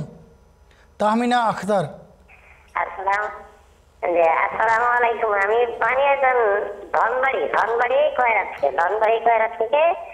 আমার প্রশ্ন হলো যে আহমেদেরকে হ্যাঁ এই মসজিদের ইমাম মোল্লা মুন্সি মৌলানারা এরা দেখতে পারে না কেন? এদের উপরে এত রাগ কেন গুসা কেন? এটাই আমার প্রশ্ন। আচ্ছা ধন্যবাদ বোন আপনাকে জি জি জি জি। আসসালামু আলাইকুম। ওয়ালাইকুম আসসালাম রহমতুল্লাহ বরকাত মৌলানা সাহেব উত্তর দিবেন। এই মোল্লাদের এত রাগ গোসা কেন? হ্যাঁ আহমদিদেরকে কেন দেখতে পারে না? মোল্লারা এত রাগ গোসা কেন আপনাদের প্রতি? এটা তো মোল্লাদেরকে জিজ্ঞেস করেন কষ্ট করে যে আমরা কি ক্ষতি করলাম? তোমাদের কোন আলে, কাঁচা আলে আমরা পা দিলাম যে আমাদের সাথে তোমাদের এত শত্রুতা? গ্রামের ভাষায় জিজ্ঞেস করেন না, যে ব্যাপার স্যাপার কি? আসলে কোরআন শরীফে আল্লাহ তালা বলেছেন যে আল্লাহর পক্ষ থেকে তা, আল্লাহর পক্ষ থেকে আল্লাহ যাকেই পাঠান, সমসাময়িক যুগের মানুষ তার বিরোধিতা করে। সুরা মানে সুরা ইয়াসিনের আয়াত খুব সময় ভুলে যাচ্ছি। যে ইয়া হাসরাতান সুরা ইয়াসিনী ইয়া হাসরাতান আলাল ইবাদ মা ইয়াতিহিম মির রাসূলিন ইল্লা কানু বিহি ইয়াস্তাহজিউন। যে আল্লাহ যাকেই পাঠান তার তার তার তাকে হাসি ঠাট্টা করা হয়, হাসি ঠাট্টার লক্ষ্যে পরিণত করা হয়। আল্লাহ এটি আক্ষেপের সাথে এটি উল্লেখ করেছেন। আর এটি এতে কোনো ব্যতিক্রম কখনো হয়নি। যখনই আল্লাহর পক্ষ থেকে কেউ আসে, তার বিরোধিতা হয়। আজকে আপনাদের সমাজে বানিয়াজান থেকে আরেকটু দূরে, পাহাড়ের দিকে যদি যান, দেখবেন যে দলে দলে মানুষ খ্রিস্টান হচ্ছে। এবং খ্রিস্টান মিশন সেখানে খুব অ্যাক্টিভ আপনিও সেই সেই সমস্ত এলাকায় কাজ করেছেন। দলে দলে মানুষ খ্রিস্টান হয়ে যাচ্ছে, কোনো চিন্তা নেই। কিন্তু আল্লাহর পক্ষ থেকে যিনি এসেছেন হজরত ইমাম মাহাদি আল ইসলাম মোহাম্মদ রসুল্লাহ ধর্মকে সঞ্জীবিত করার জন্য তার জামাতে যদি কেউ আসে, মোল্লা সাহেবরা খুবই কষ্ট পায়। খুব কষ্ট পায় তারা। সকল চেষ্টা করে আহমদীদেরকে মূলোৎপাটন করতে, হত্যা করতে, তাদের ঘরে আগুন দেওয়ার পরি ষড়যন্ত্র করে। সেই এলাকাতে আমাদের জামাতের যে ওয়াকফে জিন্দেগি মোবাইল লেগের উপর মারাত্মক মানে আক্রমণ করা হয়েছে। তার আল্লাহ তালার ফজল হয়েছে, তিনি বেঁচে গেছেন। আমি মুস্তাফিজের কথা বলছি যে আরও অনেক এরকম ঘটনা সেই এলাকায় ঘটেছে। আমাদের রাজীব যেখানে আছেন, তারপরে পুরো এলাকায় মানে বাংলাদেশের সব এলাকাতেই হচ্ছে, কিন্তু এই এলাকাতে এমন ঘটনা গত দুই তিন বছর অনেক হয়েছে। তো এটি যুগের যারা ধর্মের ধ্বজাধারী, মোল্লা, তাদের এটি পেশা। এটি তাদের ব্যবসা। এই ব্যবসা না করলে তাদের রুজি রোজগারের রাস্তা বন্ধ হয়ে যাবে। এই কারণে তারা সব যুগে বিরোধিতা করেছে। রসুল করিম ইসলামের বিরোধিতা করেছে যুগের যারা সবচেয়ে বড় আলেম ছিল। মৌলবীরা এটা জানে যে সেই সময়কার সবচেয়ে বড় আলেমেরাই মোহাম্মদ রসুল্লাহর সবচেয়ে বড় বিরোধী ছিল। তো এই বিরোধিতা আহমদিয়া মুসলিম জামাতের সত্যতার লক্ষণ। এতে মন খারাপ করার কোনো কারণ নেই। আমি জানি আপনার মন খারাপ না, আপনি অন্যকে বোঝানোর জন্য হয়তো এই প্রশ্ন করেছেন। যে আল্লাহ তালার ফজলে এটি আমাদের সত্যতার লক্ষণ। বিরোধিতা হবে, সেই বিরোধিতার মাঝে ইনশাল্লাহ সত্য জামাত উন্নতি করে, আর সব সময় করছে, করবেই আল্লাহ তালার ফজলে। ধন্যবাদ আপনাকে। বোন তাহমিনা, আশা করি আপনি আপনার প্রশ্নের উত্তর পেয়েছেন। এবারে কলকাতা, পশ্চিমবঙ্গ থেকে আমরা একটি ফোন কল নিব। আব্দুস সুবহান সাহেব আছেন সেখানে। আসসালামু আলাইকুম। আব্দুস সুবহান সাহেব কি শুনতে পাচ্ছেন?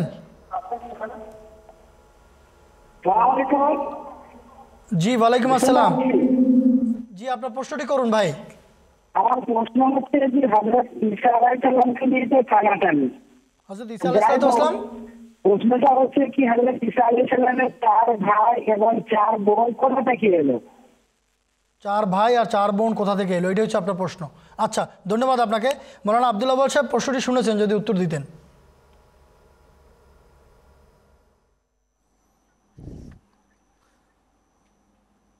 জি ধন্যবাদ কলকাতার থেকে যে ভাই প্রশ্ন করেছেন। তার উত্তরটা আমি হজরত মসিহ মাউদ আলাহিসাল্লামের গবেষণা থেকে বলে দিচ্ছি। হজরত ঈসা আলাইসাল্লামের চার ভাই এবং দুই বোন ছিলেন। আর তার নামও উল্লেখ করেছেন। এরা সবাই হজরত ঈসা আলাইসাল্লামের সহোদর ভাই বোন ছিলেন। অর্থাৎ সকলেই হজরত ইউসুফ, নাজ্জার এবং মরিয়মের ঔরস জাত সন্তান ছিলেন। ভাই চারজনের নাম হলো ইহুদা ইয়াকুব, শামউন এবং ইউসুফ, ইউজুস। আর বোন দুজন হচ্ছেন আসিয়া এবং লেদিয়া। কোথায় পাওয়া যায় এই তথ্য? মুসলমানরা যদি এই তথ্য উদ্ঘাটন করতো, তাহলে খ্রিস্টানদের সহ্য হতো না, তাই না? কিন্তু এই তথ্য উদ্ঘাটন করেছেন পাদ্রি জন এলেন গাইলস। আঠারোশো ছিয়াশি সালে তার বই পুস্তক, তার বই লন্ডনে মুদ্রিত হয়েছে অ্যাপস্টলিক রেকর্ডস নামে এবং সেই অ্যাপস্টলিক রেকর্ডসের পৃষ্ঠা নম্বর একশো উনষাট থেকে ছেষট্টির মধ্যে এই তথ্য বিদ্যমান। তারা যাকে আল্লাহর পুত্র বলে বিশ্বাস করে নওজবিল্লা মিন জালেক তাদের গবেষণা বলছে যে সেই আল্লাহর পুত্রের আরও চার ভাই এবং দুই বোনও ছিলেন। এটা দ্বারা সাব্যস্ত হয় হজরত ঈসা আলাহ সালাতাম আমাদের মতোই সাধারণ মানুষ ছিলেন। ধন্যবাদ। ধন্যবাদ মৌলানা সাহেব। আব্দুস সুবান সাহেব, কলকাতা থেকে আপনি ফোন করেছিলেন, আশা করি উত্তর পেয়ে গেছেন। আমরা দর্শক শুরুতেই, অনুষ্ঠান শুরুতেই বলেছিলাম যে আমরা মূল আলোচনা করব জলসা সালানা নিয়ে। তো এই সম্পর্কে আমরা অনুষ্ঠানের শুরুতে আপনাদেরকে মসিম মহসিমের লেখা থেকে একটা অংশ শুনিয়েছিলাম।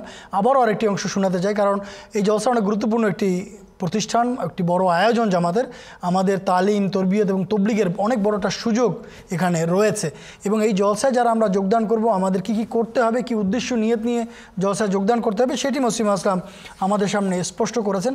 চলুন, এ পর্যায়ে মসিম আদম আলাহ ইসলাতামের লেখা আরেকটি অংশ আমরা শুনে নিই। জলসার গুরুত্ব এবং এতে যোগদানকারীদের জন্য দোয়া করে হজরত মুসিয়ে মাউদ আলাহিসাল্লাম বলেন এই জলসাকে জাগতিক সাধারণ সমাবেশের মতো মনে করো না। এটি সেই বিষয় যার ভিত নিতান্তই সত্যের সমর্থনকল্পে ও ইসলামকে জয়যুক্ত করার নিমিত্তে রাখা হয়েছে। আল্লাহ তাআলা নিজে এই ব্যবস্থাপনার গোড়াপত্তন সহস্তে করেছেন। আর এ লক্ষ্যে তিনি বিভিন্ন জাতি গোষ্ঠীকে প্রস্তুত করে রেখেছেন, যারা এতে এসে যোগ দেবে। কেননা এটা সেই সর্বশক্তিমান খোদার কাজ যার পক্ষে কোনো কিছুই অসম্ভব নয়। পরিশেষে, এ দোয়া করে আমি ইতি টানছি, প্রত্যেক সেই ব্যক্তি যিনি এ ঐশী জলসার জন্য সফর করবেন, খোদা তাআলা যেন তাদের সাথী হন। তাদের মহা পুরস্কারে ভূষিত করেন, তাদের প্রতি করুণা বর্ষণ করেন, আর তাদের সব সমস্যা ও উৎকণ্ঠার অবস্থা যেন তাদের অনুকূলে সহজ করে দেন। তাদের দুশ্চিন্তা ও উদ্বেগ দূরীভূত করেন আর তাদেরকে সব ধরনের কষ্ট থেকে যেন মুক্তি দান করেন। তাদের যাবতীয় আশা আকাঙ্ক্ষা পূর্ণ করে দেন আর পরকালে তাদেরকে যেন তার সেসব বান্দার সাথে পুনরুত্থিত করেন, যাদের প্রতি তার অনুগ্রহ ও করুণা সদা বিরাজমান। আর তাদের এই সফর শেষ না হওয়া পর্যন্ত তাদের অনুপস্থিতিতে তিনি যেন তাদের স্থলাভিষিক্ত হন। হে মহামর্যাদাবান, হে দাতা ও পরম দয়ালু খোদা, হে সমস্যা নিরসনকারী খোদা, আমার এসব দোয়া কবুল করে নাও আর আমাদের বিরোধীদের বিপক্ষে উজ্জ্বল নিদর্শনাবলী দিয়ে আমাদেরকে জয়যুক্ত করো, কেননা সর্বশক্তি ও সামর্থ্যের একমাত্র অধিকারী তুমি। আমিন। সুম্মা আমিন। সাত ডিসেম্বর আঠারোশো বিরানব্বই সনের বিজ্ঞাপন, মজমু আয়ে ইশতেহারাত, প্রথম খণ্ড, পৃষ্ঠা তিনশো বিয়াল্লিশ। প্রিয় দর্শক, আমরা হজরত মসিহ মহম্মদ আলাহ ইসলাতামের লেখা থেকে মজমুয়া ইশতেহারা থেকে আরেকটি উদ্ধৃতি শুনলাম। এখানে আমি বাংলাদেশ স্টুডিওতে যাব। মৌলানা আকরামুল ইসলাম সাহেবের কাছে। আসসালামু আলাইকুম। মৌলানা সাহেব, আপনি কি শুনতে পাচ্ছেন? আকরামুল ইসলাম সাহেব কি শুনতে পাচ্ছেন? ওয়ালাইকুম আসসালাম। জি শুনতে পাচ্ছি। প্রশ্ন মসিম মহমুদুল আসলাতাম এই উদ্ধৃতিতে বলেছেন যে খোদাতলা বিভিন্ন জাতি গোষ্ঠীকে প্রস্তুত করে রেখেছেন। তারা অচিরেই এসে এই আমাদের সঙ্গে মিলিত হবে বা এই জলসায় যোগদান করবে। এখানে এই যে কথা মসিম আসলামের এই ভবিষ্যৎবাণীটি এটি কীভাবে পূর্ণতা পেয়েছে সেটি যদি আপনি দর্শকদের উদ্দেশ্যে বলতেন।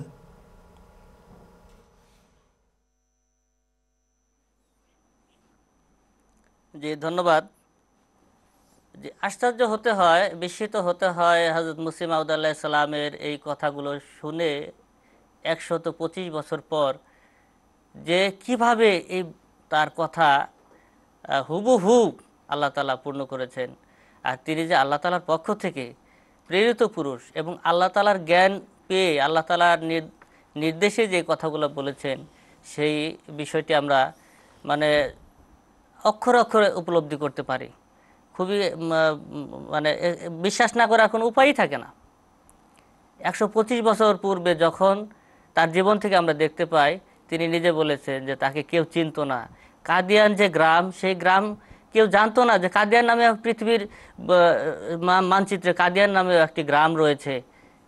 আর হজরত মুসিম আল্লাহ সাল্লাম নিজেকে বলেছেন যে, আমি এক গুমনাম ছিলাম। আমাকে কেউ চিনতো না। ইভে এমনকি আমার প্রতিবেশী, তারাও আমাকে চিনতো না। আর সেই যুগে হজরত মুসিম আল্লাহ সাল্লাম জলসার যে আয়োজন করলেন, তখন ভবিষ্যৎবাণী করলেন যে এই এই জলসার ইট, এই জলসার যে ভিত, সেটা আল্লাহ তালা রচনা করেছেন তার নিজ হাতে রচনা করেছেন এবং এর জন্যে জাতি গোষ্ঠীকে প্রস্তুত করে রেখেছেন।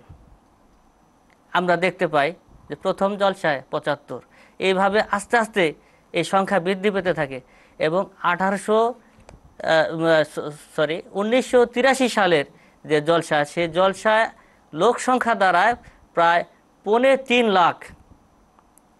এখানে সংখ্যার যে আধিক্য আ- আধিক্য দেখা যায়। এবং এখানে বিভিন্ন জাতি গোষ্ঠীর লোক একত্রিত হতে থাকে। এরপরে আমরা যখন দেখতে পাই যে হজরত খলিফাতুল মসির রাবে রহমল্লা তালা তিনি ঐশী ঐশী ইশারায় বা ঐশী আল্লাহ তালার ইচ্ছায় তাকে হিজরত করতে হয় লন্ডনে ইয়েতে। তখন এখানে আসার পরে জলসা শুরু করেন আবার লন্ডনে। আর দেখা যায় যে এই এই লন্ডনের যে জলসা, সেই জলসা একটা আন্তর্জাতিক জলসায় রূপ নেয়। পৃথিবীর বিভিন্ন দেশ থেকে সেখানে লোক এসে উপস্থিত হতে থাকে। প্রথম যে জলসা হজরত খলিফাতুল মসি রাবে রহমাউল্লাহ তালা লন্ডনে করেন, সেই জলসাতে আমরা দেখতে পাই যে প্রায় আটচল্লিশটি অথবা সাতচল্লিশটি দেশের প্রতিনিধিরা সেখানে এসেছিলেন।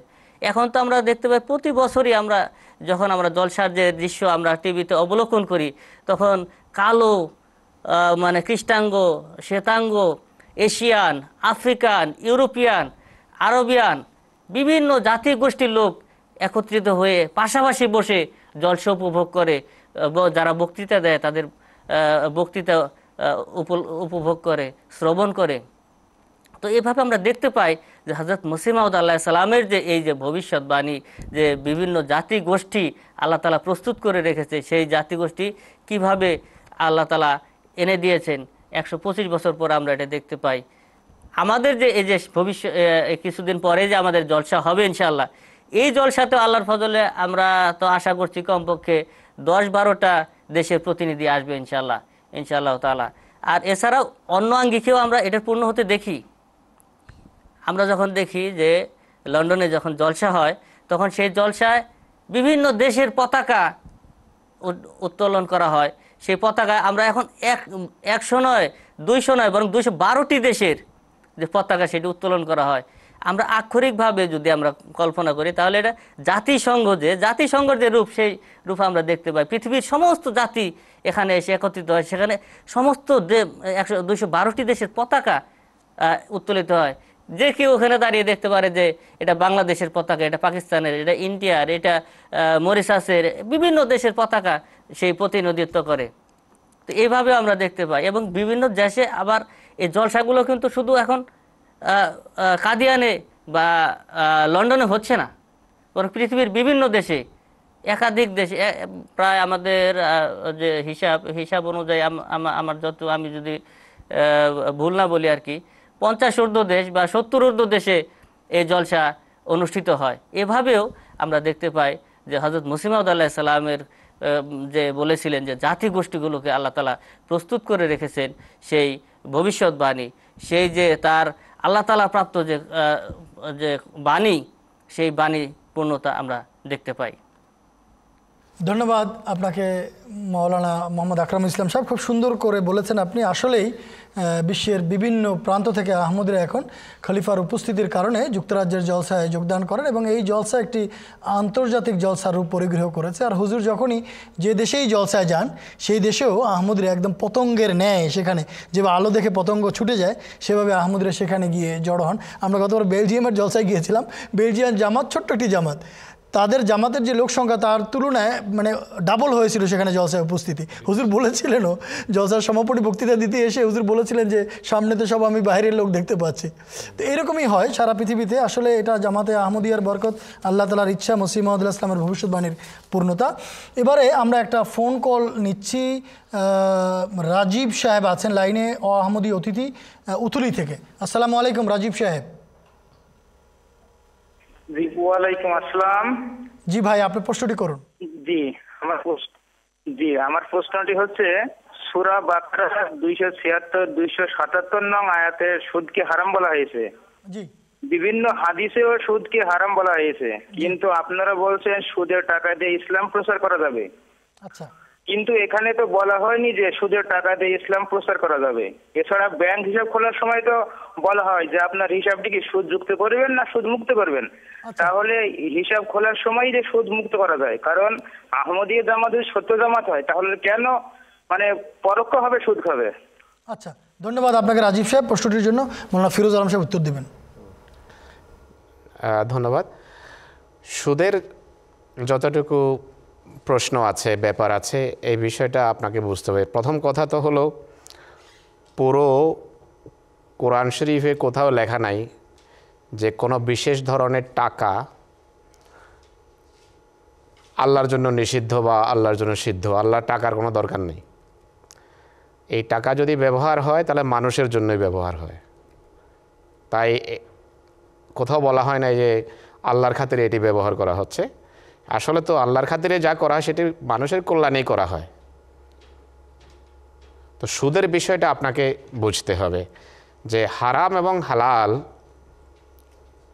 জিনিসটা মানুষের নিরিখে, মানুষের দৃষ্টিকোণ থেকে। মানুষের সামাজিক অবস্থার সাথে এর সম্পর্ক রাখে। আবার বলি, ব্যাপারটা বুঝতে হবে আপনাকে যে হারাম, হালাল কিন্তু মানুষের অবস্থার নিরিখে হয়ে থাকে। আল্লাহ তালার অবস্থার নিরিখে নয়। আল্লাহর সত্তা এগুলো থেকে ঊর্ধ্বে। এখন সুদের যে টাকাটা, এটা একটা কাগজ বা এটা একটা মুদ্রা বা একটা ধাতু থেকেই বানানো হয়, তাই তো? এই জিনিসটা নিজ গুণে হারামও না হালালো না। এটি ব্যবহারের দৃষ্টিকোণ থেকে এবং মানুষের উপর আর সমাজের উপর এর প্রভাবের দৃষ্টিকোণ থেকে এটা কখনো হালাল হয় আর কখনো হারাম হয়। তো সুদের এই যে টাকাটা, যদি আপনি যারা ব্যাংকওয়ালাদের যে সুদের টাকাটা আছে, সেই টাকাটা নিয়ে আপনি যদি দশ বারো জন মানুষের হাতে উঠিয়ে দেন, কোটি কোটি, শত শত কোটি টাকা যদি দশ বারো জন মানুষের হাতে চলে যায়, কি হবে তাহ- তাহলে? কেন এটি হারাম হবে? এই জন্য হবে যে এর ফলে সমাজের ভারসাম্য নষ্ট হবে। কিছু মানুষের হাতে এত টাকা এসে যাবে যে সমাজ এক পেশে হয়ে যাবে, এক সাইডে ঝুঁকে যাবে। একদিকে থাকবে প্রচুর গরিব, দরিদ্র, আর একদিকে কিছু মানুষের আঙ্গুল ফুলে কলা গাছ হবে তারা। তো ইসলাম যেহেতু একটা ব্যালেন্সড ধর্ম, একটা ভারসাম্যপূর্ণ ধর্ম, ইসলাম চায় না যে কিছু লোকের হাতে দুনিয়ার সমস্ত সম্পদ একত্রিত হোক, পঞ্জীভূত হোক। ইসলাম বলে যে একটা নির্দিষ্ট মাত্রায় টাকা একত্রিত হলেই সেটা বের করতে হবে তোমার জেব থেকে। খরচ করতে হবে, ব্যয় করতে হবে, জাকাত দিতে হবে, গরিবদের জন্য, গরিবদের দেখাশোনা করতে হবে। তো ইট, ইসলামে সুদ নিষিদ্ধ করা হয়েছে এই জন্য যে সুদ কিছু হাতে পয়সা অন্যায়ভাবে একত্রিত হওয়াকে বলা হয়। তো মানুষের দৃষ্টিকোণ থেকে এটি নিষিদ্ধ, কিন্তু যখন ইসলাম প্রচারের জন্য সেই কাগজি মুদ্রা বা ধাতব মুদ্রাকে যখন আপনি কোরআন শরীফ প্রচার জন্য, প্রচারের জন্য, কোরআন ছাপার জন্য, হাদিস ছাপার জন্য ব্যবহার করবেন, এটা মানে এতে ক্ষতিকর কোনো দিক নেই। সেই কাগজটার কোনো দোষ নেই। তো এই দৃষ্টিকোণ থেকে আমি আপনাকে যৌক্তিক দৃষ্টিকোণ থেকে বিষয়টা বোঝাচ্ছি। তাই আল্লাহ তালার ধর্মের প্রচারের জন্য এটিকে নিষিদ্ধ করা হয়নি। এশাতে ইসলামের জন্য এটি ব্যবহার করা যায়। টাকাটা আপনি সাগরে ফেলে দিতে পারেন। জ্বালিয়ে ফেলতে পারেন। কিন্তু এটি করা ঠিক না, অপব্যয়। তাই মানুষকে দিয়ে সমাজের ভারসাম্য নষ্ট না করে মানুষকে আল্লাহর দিকে ডাকার জন্য, মানুষকে আল্লাহর সাথে সম্পৃক্ত করার জন্য, মানুষকে মোহাম্মদ রসুল্লাহর শিক্ষার সাথে সংশ্লিষ্ট করার জন্য এই পয়সা ব্যবহার করা যেতে পারে। জামাত আহমদিয়া একেবারেই ইসলামী শিক্ষার যে নির্যাস এবং প্রাণ, সেটিকে ধারণ করে এবং সেই শিক্ষা অনুসারে জামাতে আহমদিয়া এগিয়ে যাচ্ছে। এখানে কোনো ভিত্তিহীন আবেগের আমরা দাসত্ব করি না। তো এই বিষয়টা বুঝতে হবে আপনি পড়েন কোরআন হাদিস থেকে। তো মহাশয় আপনার কথার মানে যদি আমরা সারাংশ টানি তাহলে এরকম দাঁড়ায় যেহেতু সমাজে এখনও ইসলামী শিক্ষা পুরোপুরি বলবৎ হয়নি। হয়নি। তাই আমরা যতক্ষণ পর্যন্ত ইসলামী শিক্ষা বলবৎ না হচ্ছে সুদ থেকে আমরা কোনোভাবে বেরোতে পারছি না। আমাদের হাতে না কন্ট্রোল নিয়ন্ত্রণ আমাদের হাতে না। তাই আমরা ইসলামী শিক্ষা প্রতিষ্ঠা করার জন্যই এই সুদের অর্থটাকে ব্যয় করছি। যখন ইসলামী শিক্ষা পুরোপুরি প্রতিষ্ঠিত হয়ে যাবে তখন আর সুদের প্রচলন বা ব্যবহার থাকবে না। ব্যবহারও হচ্ছে মানুষের কল্যাণের জন্য। মানে ধর্ম যখন প্রচার হবে সঠিক শিক্ষা সঠিক মোহাম্মদের আদর্শ যখন পৃথিবীতে প্রতিষ্ঠিত হবে এরা আর সুদের দিকে যাবেই না। সুদ থেকে ফিরিয়ে আনার জন্যই এটা ব্যবহার হচ্ছে।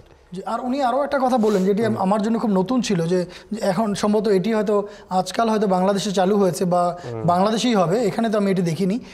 যে যখন অ্যাকাউন্ট করায় তখন নাকি বলা হয় যে এটা কি সুদভিত্তিক হবে না সুদমুক্ত? তো সুদমুক্ত আর সুদভিত্তিক এটা আমি বুঝলাম না এটার ওখানেও এক ধরনের ব্যবসা আছে কিছু লোকের হাতে অবশ্যই এটার একটা সুদ আসে ব্যবসা করলে সুদ আসবেই লভ্যাংশ যেটা আসে ওটা কিছু মানুষের হাতে যায় কিছু মানুষের বলছে আমরা এটা নেব না। যদি ওই ওইটাই অর্থ এটাই দাঁড়াল যে আপনি যদি পানিতে ফেলে দেন লাভ কিছু হলো না। কিন্তু আপনি যদি ওটা নিয়ে ইসলাম প্রচারের কাজে ব্যয় করেন তাহলে ইসলামের উন্নতি হবে সমাজে ইসলামী শিক্ষা প্রতিষ্ঠিত হবে। তো এই জন্য যে লভ- লাভের দিকটা আছে সেটি আমরা দিকে দৃষ্টি রাখি এবং এই জন্য আমরা এর সাথে ইসলামের জন্য এই সুদের টাকাটা হ্যাঁ, ব্যয় এটা আল্লাহর জন্য গেলেও আসলে কাজে লাগছে মানুষের। মানুষেরই কল্যাণে আসছে। আচ্ছা ধন্যবাদ আপনাকে মৌলানা সাহেব। এবারে আরেকটি ফোন নাম্বার ফোন লাইন দেখতে পাচ্ছি জসিম উদ্দিন সাহেব আছেন হেলেন চাকুরি থেকে। আসসালামু আলাইকুম। আসসালামু আলাইকুম রহমতুল্লাহ বারকাতুহু। জি ভাই আপনার প্রশ্নটি করুন। আমি হেলেন চাকরি থেকে বলছি। জি। আমরা এখানে প্রায় ষাট জনের মতো অনুষ্ঠান দেখতেছি প্রজেক্টরের মাধ্যমে। আমার প্রশ্ন আছে দুইটা। প্রথম প্রশ্ন হচ্ছে আপনারা তো দাজ্জালের গাধা হিসেবে বড় বড় ট্রেন জাহাজকে চিহ্নিত করেছেন। কিন্তু আমরা তো জানি যে দাজ্জাল হচ্ছে বিশাল বড় দানব হবে। তাহলে কোনটা সঠিক? ভালোভাবে বুঝিয়ে বলবেন। ঠিক আর আমার দ্বিতীয় প্রশ্ন হচ্ছে আমরা তো আমাদের পিতামাতার সাথে অনেক সময় অনেক খারাপ আচরণ করি কিন্তু মাঝে মধ্যে এমন বড় ভুল হয়ে যায় যারা পিতামাতা আমাদেরকে ক্ষমা করে না। সেক্ষেত্রে আমাদের করণীয় কি হবে? আচ্ছা ধন্যবাদ। বুঝাই বললে উপকৃত হতাম।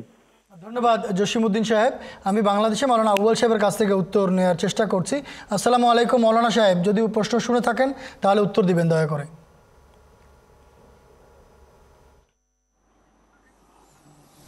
আমি প্রথম অংশটা শুনেছি, তা সেটারই আমি উত্তর দিচ্ছি। দ্বিতীয় অংশটা স্পষ্ট ছিল না আমার কাছে। তিনি প্রশ্ন করেছেন, দাজ্জাল এবং ইয়াজুজ মাজুজ বলতে গাড়ি, প্লেন এবং যন্ত্রপাতিকে বুঝাচ্ছেন।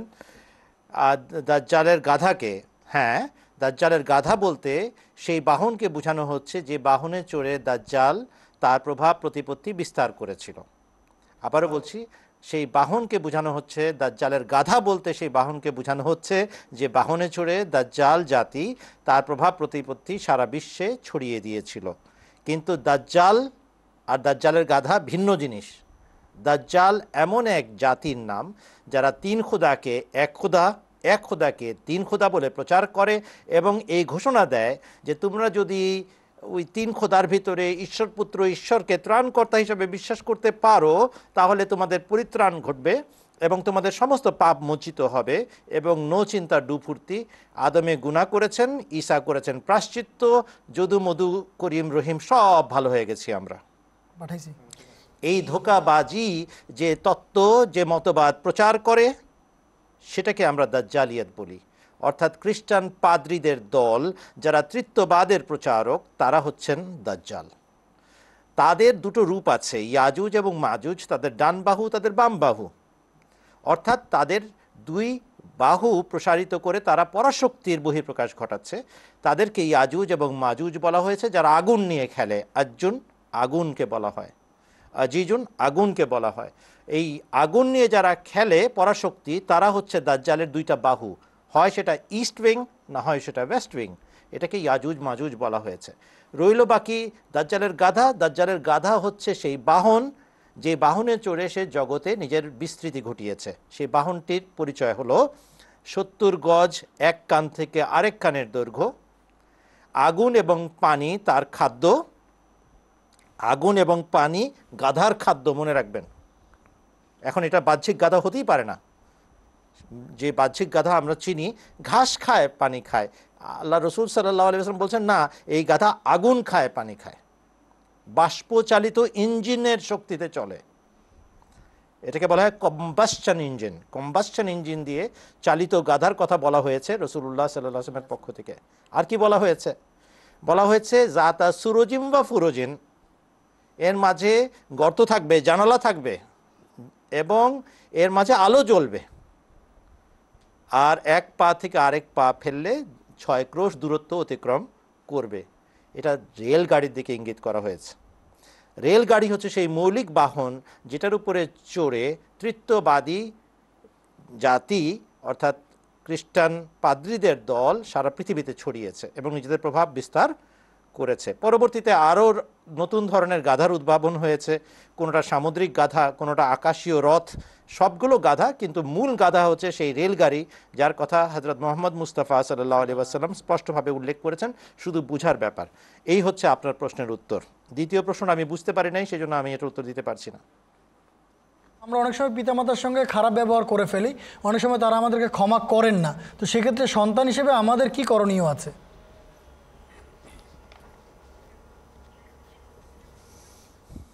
ধন্যবাদ। পিতা মাতার কাছে সারাক্ষণ নত রাখা নিজেকে, অবনত থাকা তাদের সামনে, এটা কোরআন শরীফের শিক্ষা। লেখা আছে সুরাবানি ইসরাইলে আউজবিল্লাহ মিনাশান রাজিম, ওয়া কাজা রব্বুকা আল্লাহ তাবুদু ইল্লা ইয়াহ ওয়াবিল ওয়ালিদাইনে ইহসানা, ইম্মা ইয়াবলুগান্না ইনদাকাল খেবারা আহাদুহুমা আও কিলাহুমা, ফলা তাকুল্লাহুমা উফিম ওয়ালা তানহরহুমা ওয়াকুল্লাহুমা কওলান করিমা। ওয়াকফিজ লাহুমা জানা হাজ্জুল্লি মিনার রহমাতে ওয়াকুর রব্বির হামহুমা কামা রব্বায়ানি সগীরা। অবাধ্যতা করবে না বেয়াদবিও করবে না বরং অবনত চিত্তে তাদের প্রতি শ্রদ্ধা এবং ভক্তির ব্যবহার করবে এবং দোয়াতে রত থাকবে হে আল্লাহ আমাদেরকে শৈশবে যেভাবে তারা লালন পালন করেছেন সেভাবে তুমি তাদের প্রতি দয়া পরবশ হও। হ্যাঁ একটি জায়গায় কেবল একটি জায়গায় একটি ক্ষেত্রে তাদের কথা মানার আবশ্যকতা নাই। আর সেটি হচ্ছে ধর্মের বিষয়। ওয়াইন জাহাদাকা আলা আন্তুশ্রে কাবি মা লেসালাকা কাবিহি এলমন ফলাতুতে হোমা ওয়া সাহেব হুমা ফিদ দুনিয়া মারুফা। সুরা লুকমানে আল্লাহ তালা বলেছেন, যদি তারা উভয়ে তোমার ব্যাপারে চেষ্টা করেন যে তুমি আমার সাথে কাউকে অংশীদার বানিয়ে ফেলো। আমার শির্ক করো, আমার সাথে শরিক দাঁড় করাও, তাহলে সেক্ষেত্রে তাদের উভয়ের তুমি আনুগত্য করবে না। কিন্তু সেক্ষেত্রেও জাগতিক বিষয়ে তাদেরকে নম্রভাবে সঙ্গদান করবে। অতএব ভাই, বেয়াদবি করার কোনো সুযোগ নাই। আর যদি কোনো অপরাধ হয়ে থাকে, তাদের কাছে ক্ষমা চাইতে থাকেন, আল্লাহ তালা খুব ভালো জানেন কে কোন নিয়তে ভুল করেছিল আর কোন নিয়তে সে অনুতপ্ত হয়েছে। আল্লাহর কাছে যদি পরিষ্কার হতে পারেন, হিসাব পরিষ্কার হয়ে যাবে ইনশাল্লাহ ধন্যবাদ, মৌলানা সাহেব। ভাই জসিমউদ্দিন সাহেব, আশা করি উত্তর পেয়েছেন। আপনি দুটি প্রশ্ন করেছিলেন। দাজ্জাল কোনো দানবের নাম নয়। দাজ্জাল একটি শ্রেণি, একটি জাতি, একটি গোষ্ঠীর নাম। নবী করিম সাল্লাহ আসলাম এটি বুঝিয়ে গেছেন। কোরআনেও এর ইঙ্গিত আছে। আপনি যদি সুরা কাহাফের প্রথম এবং শেষ দশ আয়াত পড়েন, আপনার কাছে স্পষ্ট হয়ে যাবে দাজ্জাল কোন জাতিকে বুঝানো হয়েছে। প্রিয় দর্শক, এখানে আমি লাইন দেখতে পাচ্ছি। আব্দুর রৌফ সাহেব কি বানিয়াজান থেকে আছেন লাইনে?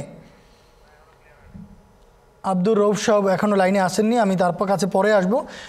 দিন ইসলাম সাহেব আছেন দক্ষিণ বাহের চর থেকে। আসসালামু আলাইকুম দিন ইসলাম সাহেব। ওয়ালাইকুম আসসালাম রহমতুল্লাহ বারাকাতুহু। জি ভাই প্রশ্নটি করুন। ভাই আমার প্রশ্নটি হচ্ছে কোরআন হাদিসে উল্লেখ আছে যে প্রতি শতাব্দীর শিরোভাগে আমাদের মাঝে নবী রাসূল প্রেরণ করা হয় বা মুজাদ্দেদ প্রেরণ করা হয়। তাহলে তেরোশো তো তেরো শতাব্দীর পর্যন্ত মুজাদ্দেদের নাম আমরা জানি বা পেয়েছি।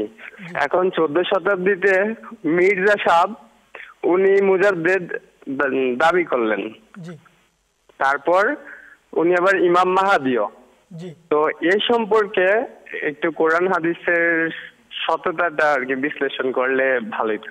আচ্ছা ধন্যবাদ, আপনাকে চমৎকার একটি প্রশ্ন করেছেন। মৌলানা ফিরোজ আলম সাহেব উত্তর দেবেন। আপনি ঠিক বলেছেন। রসুল করিম সাল্লা ইসলামের নিজের উক্তি আছে। কেউ হয়তো মনে করতে পারে যে আপনি হয়তো বানিয়ে বলছেন, তা আমি সেটাই শুনিয়ে দিই। হজরত মোহাম্মদ সাল্লা ইসলামের নিজের উক্তি যে আল্লাহ তালা এই উম্মতকে মোহাম্মদ সাল্লা ইসলামের শিক্ষার উপর কোনো না কোনোভাবে প্রতিষ্ঠিত রাখার ব্যবস্থা দায়িত্ব নিয়েছেন। ইন্নাল্লাহ ইয়াব আসলে হাজিহিল উম্মতে আলা রাসে কুল্লে মেয়াতে সানাতেন মাইয়ুজাদ্দেদুল আহাদিনাহা যে আল্লাহ তালা ইন্নাল্লাহ ইয়াবাসুলে হাজহিল উম্মতে এই উম্মতের জন্য প্রত্যেক শতাব্দীর শিরোভাগে মুজাদ্দেদ প্রেরণ করবেন। যারা এসে ইউজাদ্দুল আহাদিনাহা এই তার ধর্মকে সংস্কার করবেন। এটি রসুল করিম ইসলামের উক্তি। আর আপনি ঠিক বলেছেন যে ত্রয়োদশ শতাব্দী পর্যন্ত, তেরোতম শতাব্দী পর্যন্ত এমন মুজাদ্দেদের তালিকা রীতিমতো ছাপা হয়েছে, প্রকাশ করা হয়েছে। মুসলমানদের বেশিরভাগ দলগুলো বিশ্বাস করে যে তেরো শতাব্দী পর্যন্ত মুজাদ্দেদ ছিল। কিন্তু এরপর তাদের জন্য মুজাদ্দেদের ধারা বন্ধ হয়ে গেছে। আল্লাহ তালার ফজলে জামাত আহমদিয়া জানে যে আল্লাহ তালা তার প্রতিশ্রুতি কখনও প্রতিশ্রুতির ব্যত্যয় করেন না, ভঙ্গ করেন না। এটা রসুল করিম ইসলাম যে সংবাদ দিয়েছেন, ইন্নাল্লাহ ইয়াবাসুল্লেহ জেহিল উম্মতে আল্লাহ রাসেফ কুল্লে মেয়াতে সানাতিন। এটি একটি এমন ধরনের স্টাইল এ হাদিসের, এমন স্টাইল হাদিসটার, যা থেকে বোঝা যায় যে আল্লাহর পক্ষ থেকে সরাসরি সংবাদ পেয়ে রসুল্লাহ বলেছেন যে আল্লাহ প্রত্যেক শতাব্দীতে এই উম্মতের জন্য মোজাদ্দেদ প্রেরণ করবেন। কিন্তু চতুর্দশ শতাব্দীতে এসে তাদের জন্য আর কোনো মুজাদ্দেদ নাই। কিন্তু খোদা কখনো তার ওয়াদা ভঙ্গ করেননি, তিনি পাঠিয়েছেন। তারা মানেনি। কেননা এই মুজাদ্দেদ সাধারণ মুজাদ্দেদ না। এই মুজাদ্দেদ মাহদি মুজাদ্দেদ। এই মুজাদ্দেদের আরেকটা উপাধি হলো ঈসা। তো যিনি নবী হওয়ার দাবি করেন, তাকে মানতে একটু সমস্যা হয়। কেননা তাকে মানার জন্য বিশেষ নির্দেশ আছে। তাকে মানলে বিরোধিতা সইতে হয়।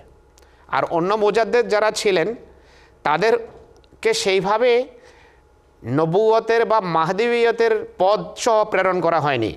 যার ফলে তাদের আলোতে যারা আলোকিত হয়েছেন, তাদেরকে কোনো বিরোধিতা সইতে হয়নি। কিন্তু যিনি চতুর্দশ শতাব্দীর মুজাদ্দেদ তার সম্পর্কে রসুল্লাহ ইসলাম বলেছেন, তিনি শুধু মুজাদ্দেদই হবেন না, তিনি মাহদিও হবেন, আর ইবনে মাজাতে তাকে ঈসাও বলা হয়েছে।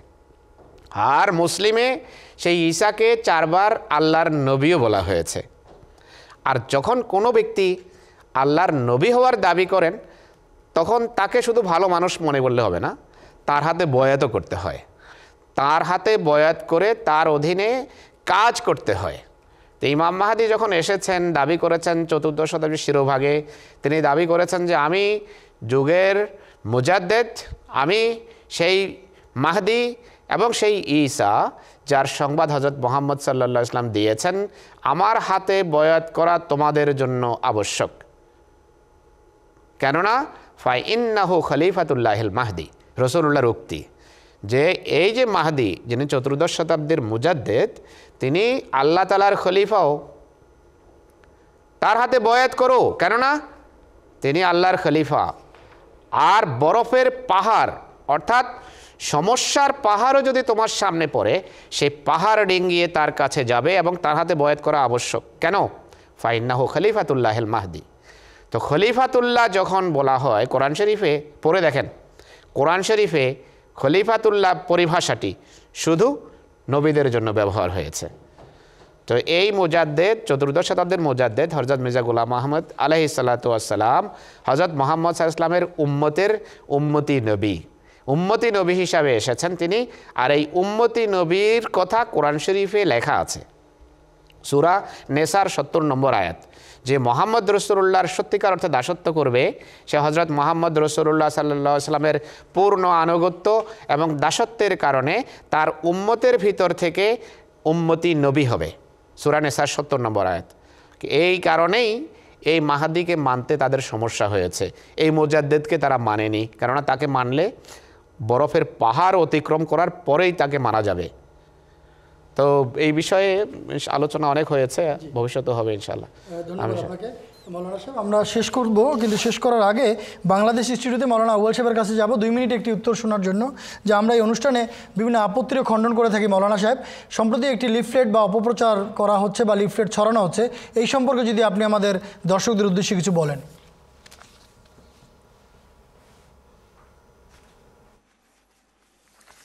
এই জ্ঞান অর্জন করতে হয় এবং জ্ঞান একটি বর্ম, জ্ঞান একটি শক্তি। হজরত মসিহে মাউদ আলাহিসাল্লাম বলেছেন, জ্ঞান অর্জনের মাধ্যমে মানুষ শক্তি অর্জন করে।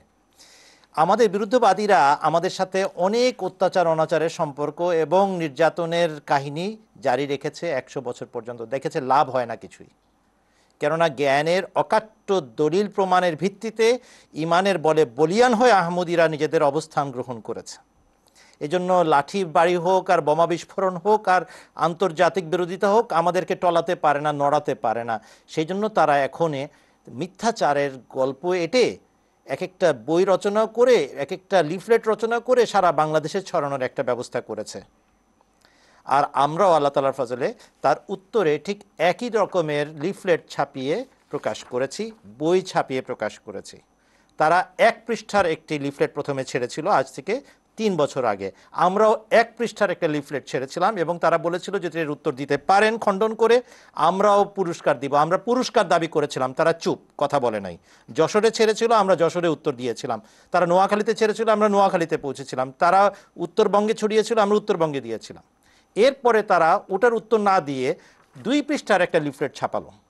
তখন আমরাও দুই পৃষ্ঠার একটা লিফলেট ছাপালাম। তার উত্তর দেওয়ার নাম নাই, বালাই নাই, কিন্তু ছড়িয়ে যাচ্ছে। আহমদীদের দায়িত্ব। এই যে আমাদের পক্ষ থেকে এটার উত্তর প্রকাশ করা হয়েছে, আমাদের চ্যালেঞ্জ দেওয়া হয়েছে যে আমাদেরকে পুরস্কার দাও, তা নাহলে নিজেদের অপপ্রচার বন্ধ করো। এই লিফলেটটা পড়েন, বুঝেন, অনুধাবন করেন, রপ্ত করেন এবং ছড়িয়ে দেন নিজেদের জামাতে এবং জামাতের বাইরে। আল্লাহ তালা এর মাধ্যমে হাজার হাজার মানুষকে হেদায়তের পথ দেখাবেন। মিথ্যাবাদীরা কত জঘন্য মিথ্যাচার করে হজরত ইমাম মাদি আলাহ সাল্লাতুবাসাল্লামের পথ রোধ করার চেষ্টা করছে, সেটা জনগণ বুঝতে পারলে দলে দলে বয়াত করে আহমদি মুসলমান হবে ইনশাল্লাহ ধন্যবাদ আপনাকে, মৌলানা সাহেব। আমরা লিফলেটটি আমাদের টেলিভিশন পর্দায় দেখিয়ে দিয়েছি। আপনারা যারা বাংলাদেশে বিভিন্ন জায়গায় আপনারা আছেন, আপনারা লিফলেটটি দেখেছেন। এই দুই পৃষ্ঠার লিফলেটটি, এটি আপনারা পড়ুন। এখানে সংক্ষেপে অনেকগুলো বিষয়ের উত্তর দেওয়া হয়েছে। আশা করি এর থেকে আমরা নিজেরাও শিখতে পারব এবং যারাই বাজার বন্দরে আমাদেরকে বিভিন্ন ধরনের প্রশ্ন করে আটকানোর চেষ্টা করে, তাদেরকে আমরা সহজ উত্তরটা দিতে পারব। প্রিয় দর্শক, এই ছিল আজকে দু ঘণ্টার অনুষ্ঠান। যারা আলোচনায় অংশ নিয়েছেন, আপনাদেরকে আন্তরিকভাবে ধন্যবাদ। আপনারা যারা ফোন করে অনুষ্ঠানকে প্রাণবন্ত করেছেন আপনাদেরকে অসংখ্য ধন্যবাদ। এই অনুষ্ঠান চার দিনের, আগামীকাল এবং পরশু অনুষ্ঠান নিয়ে হাজির হব আমরা ইনশাল্লাহ আপনাদের সঙ্গে আবার কথা হবে, দেখা হবে।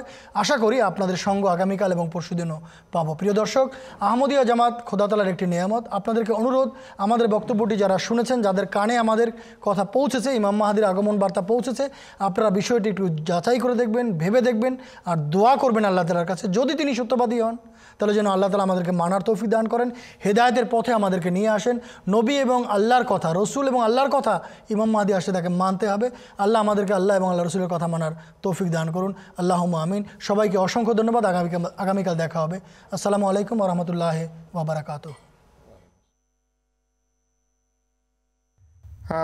أعوذ بالله من الشيطان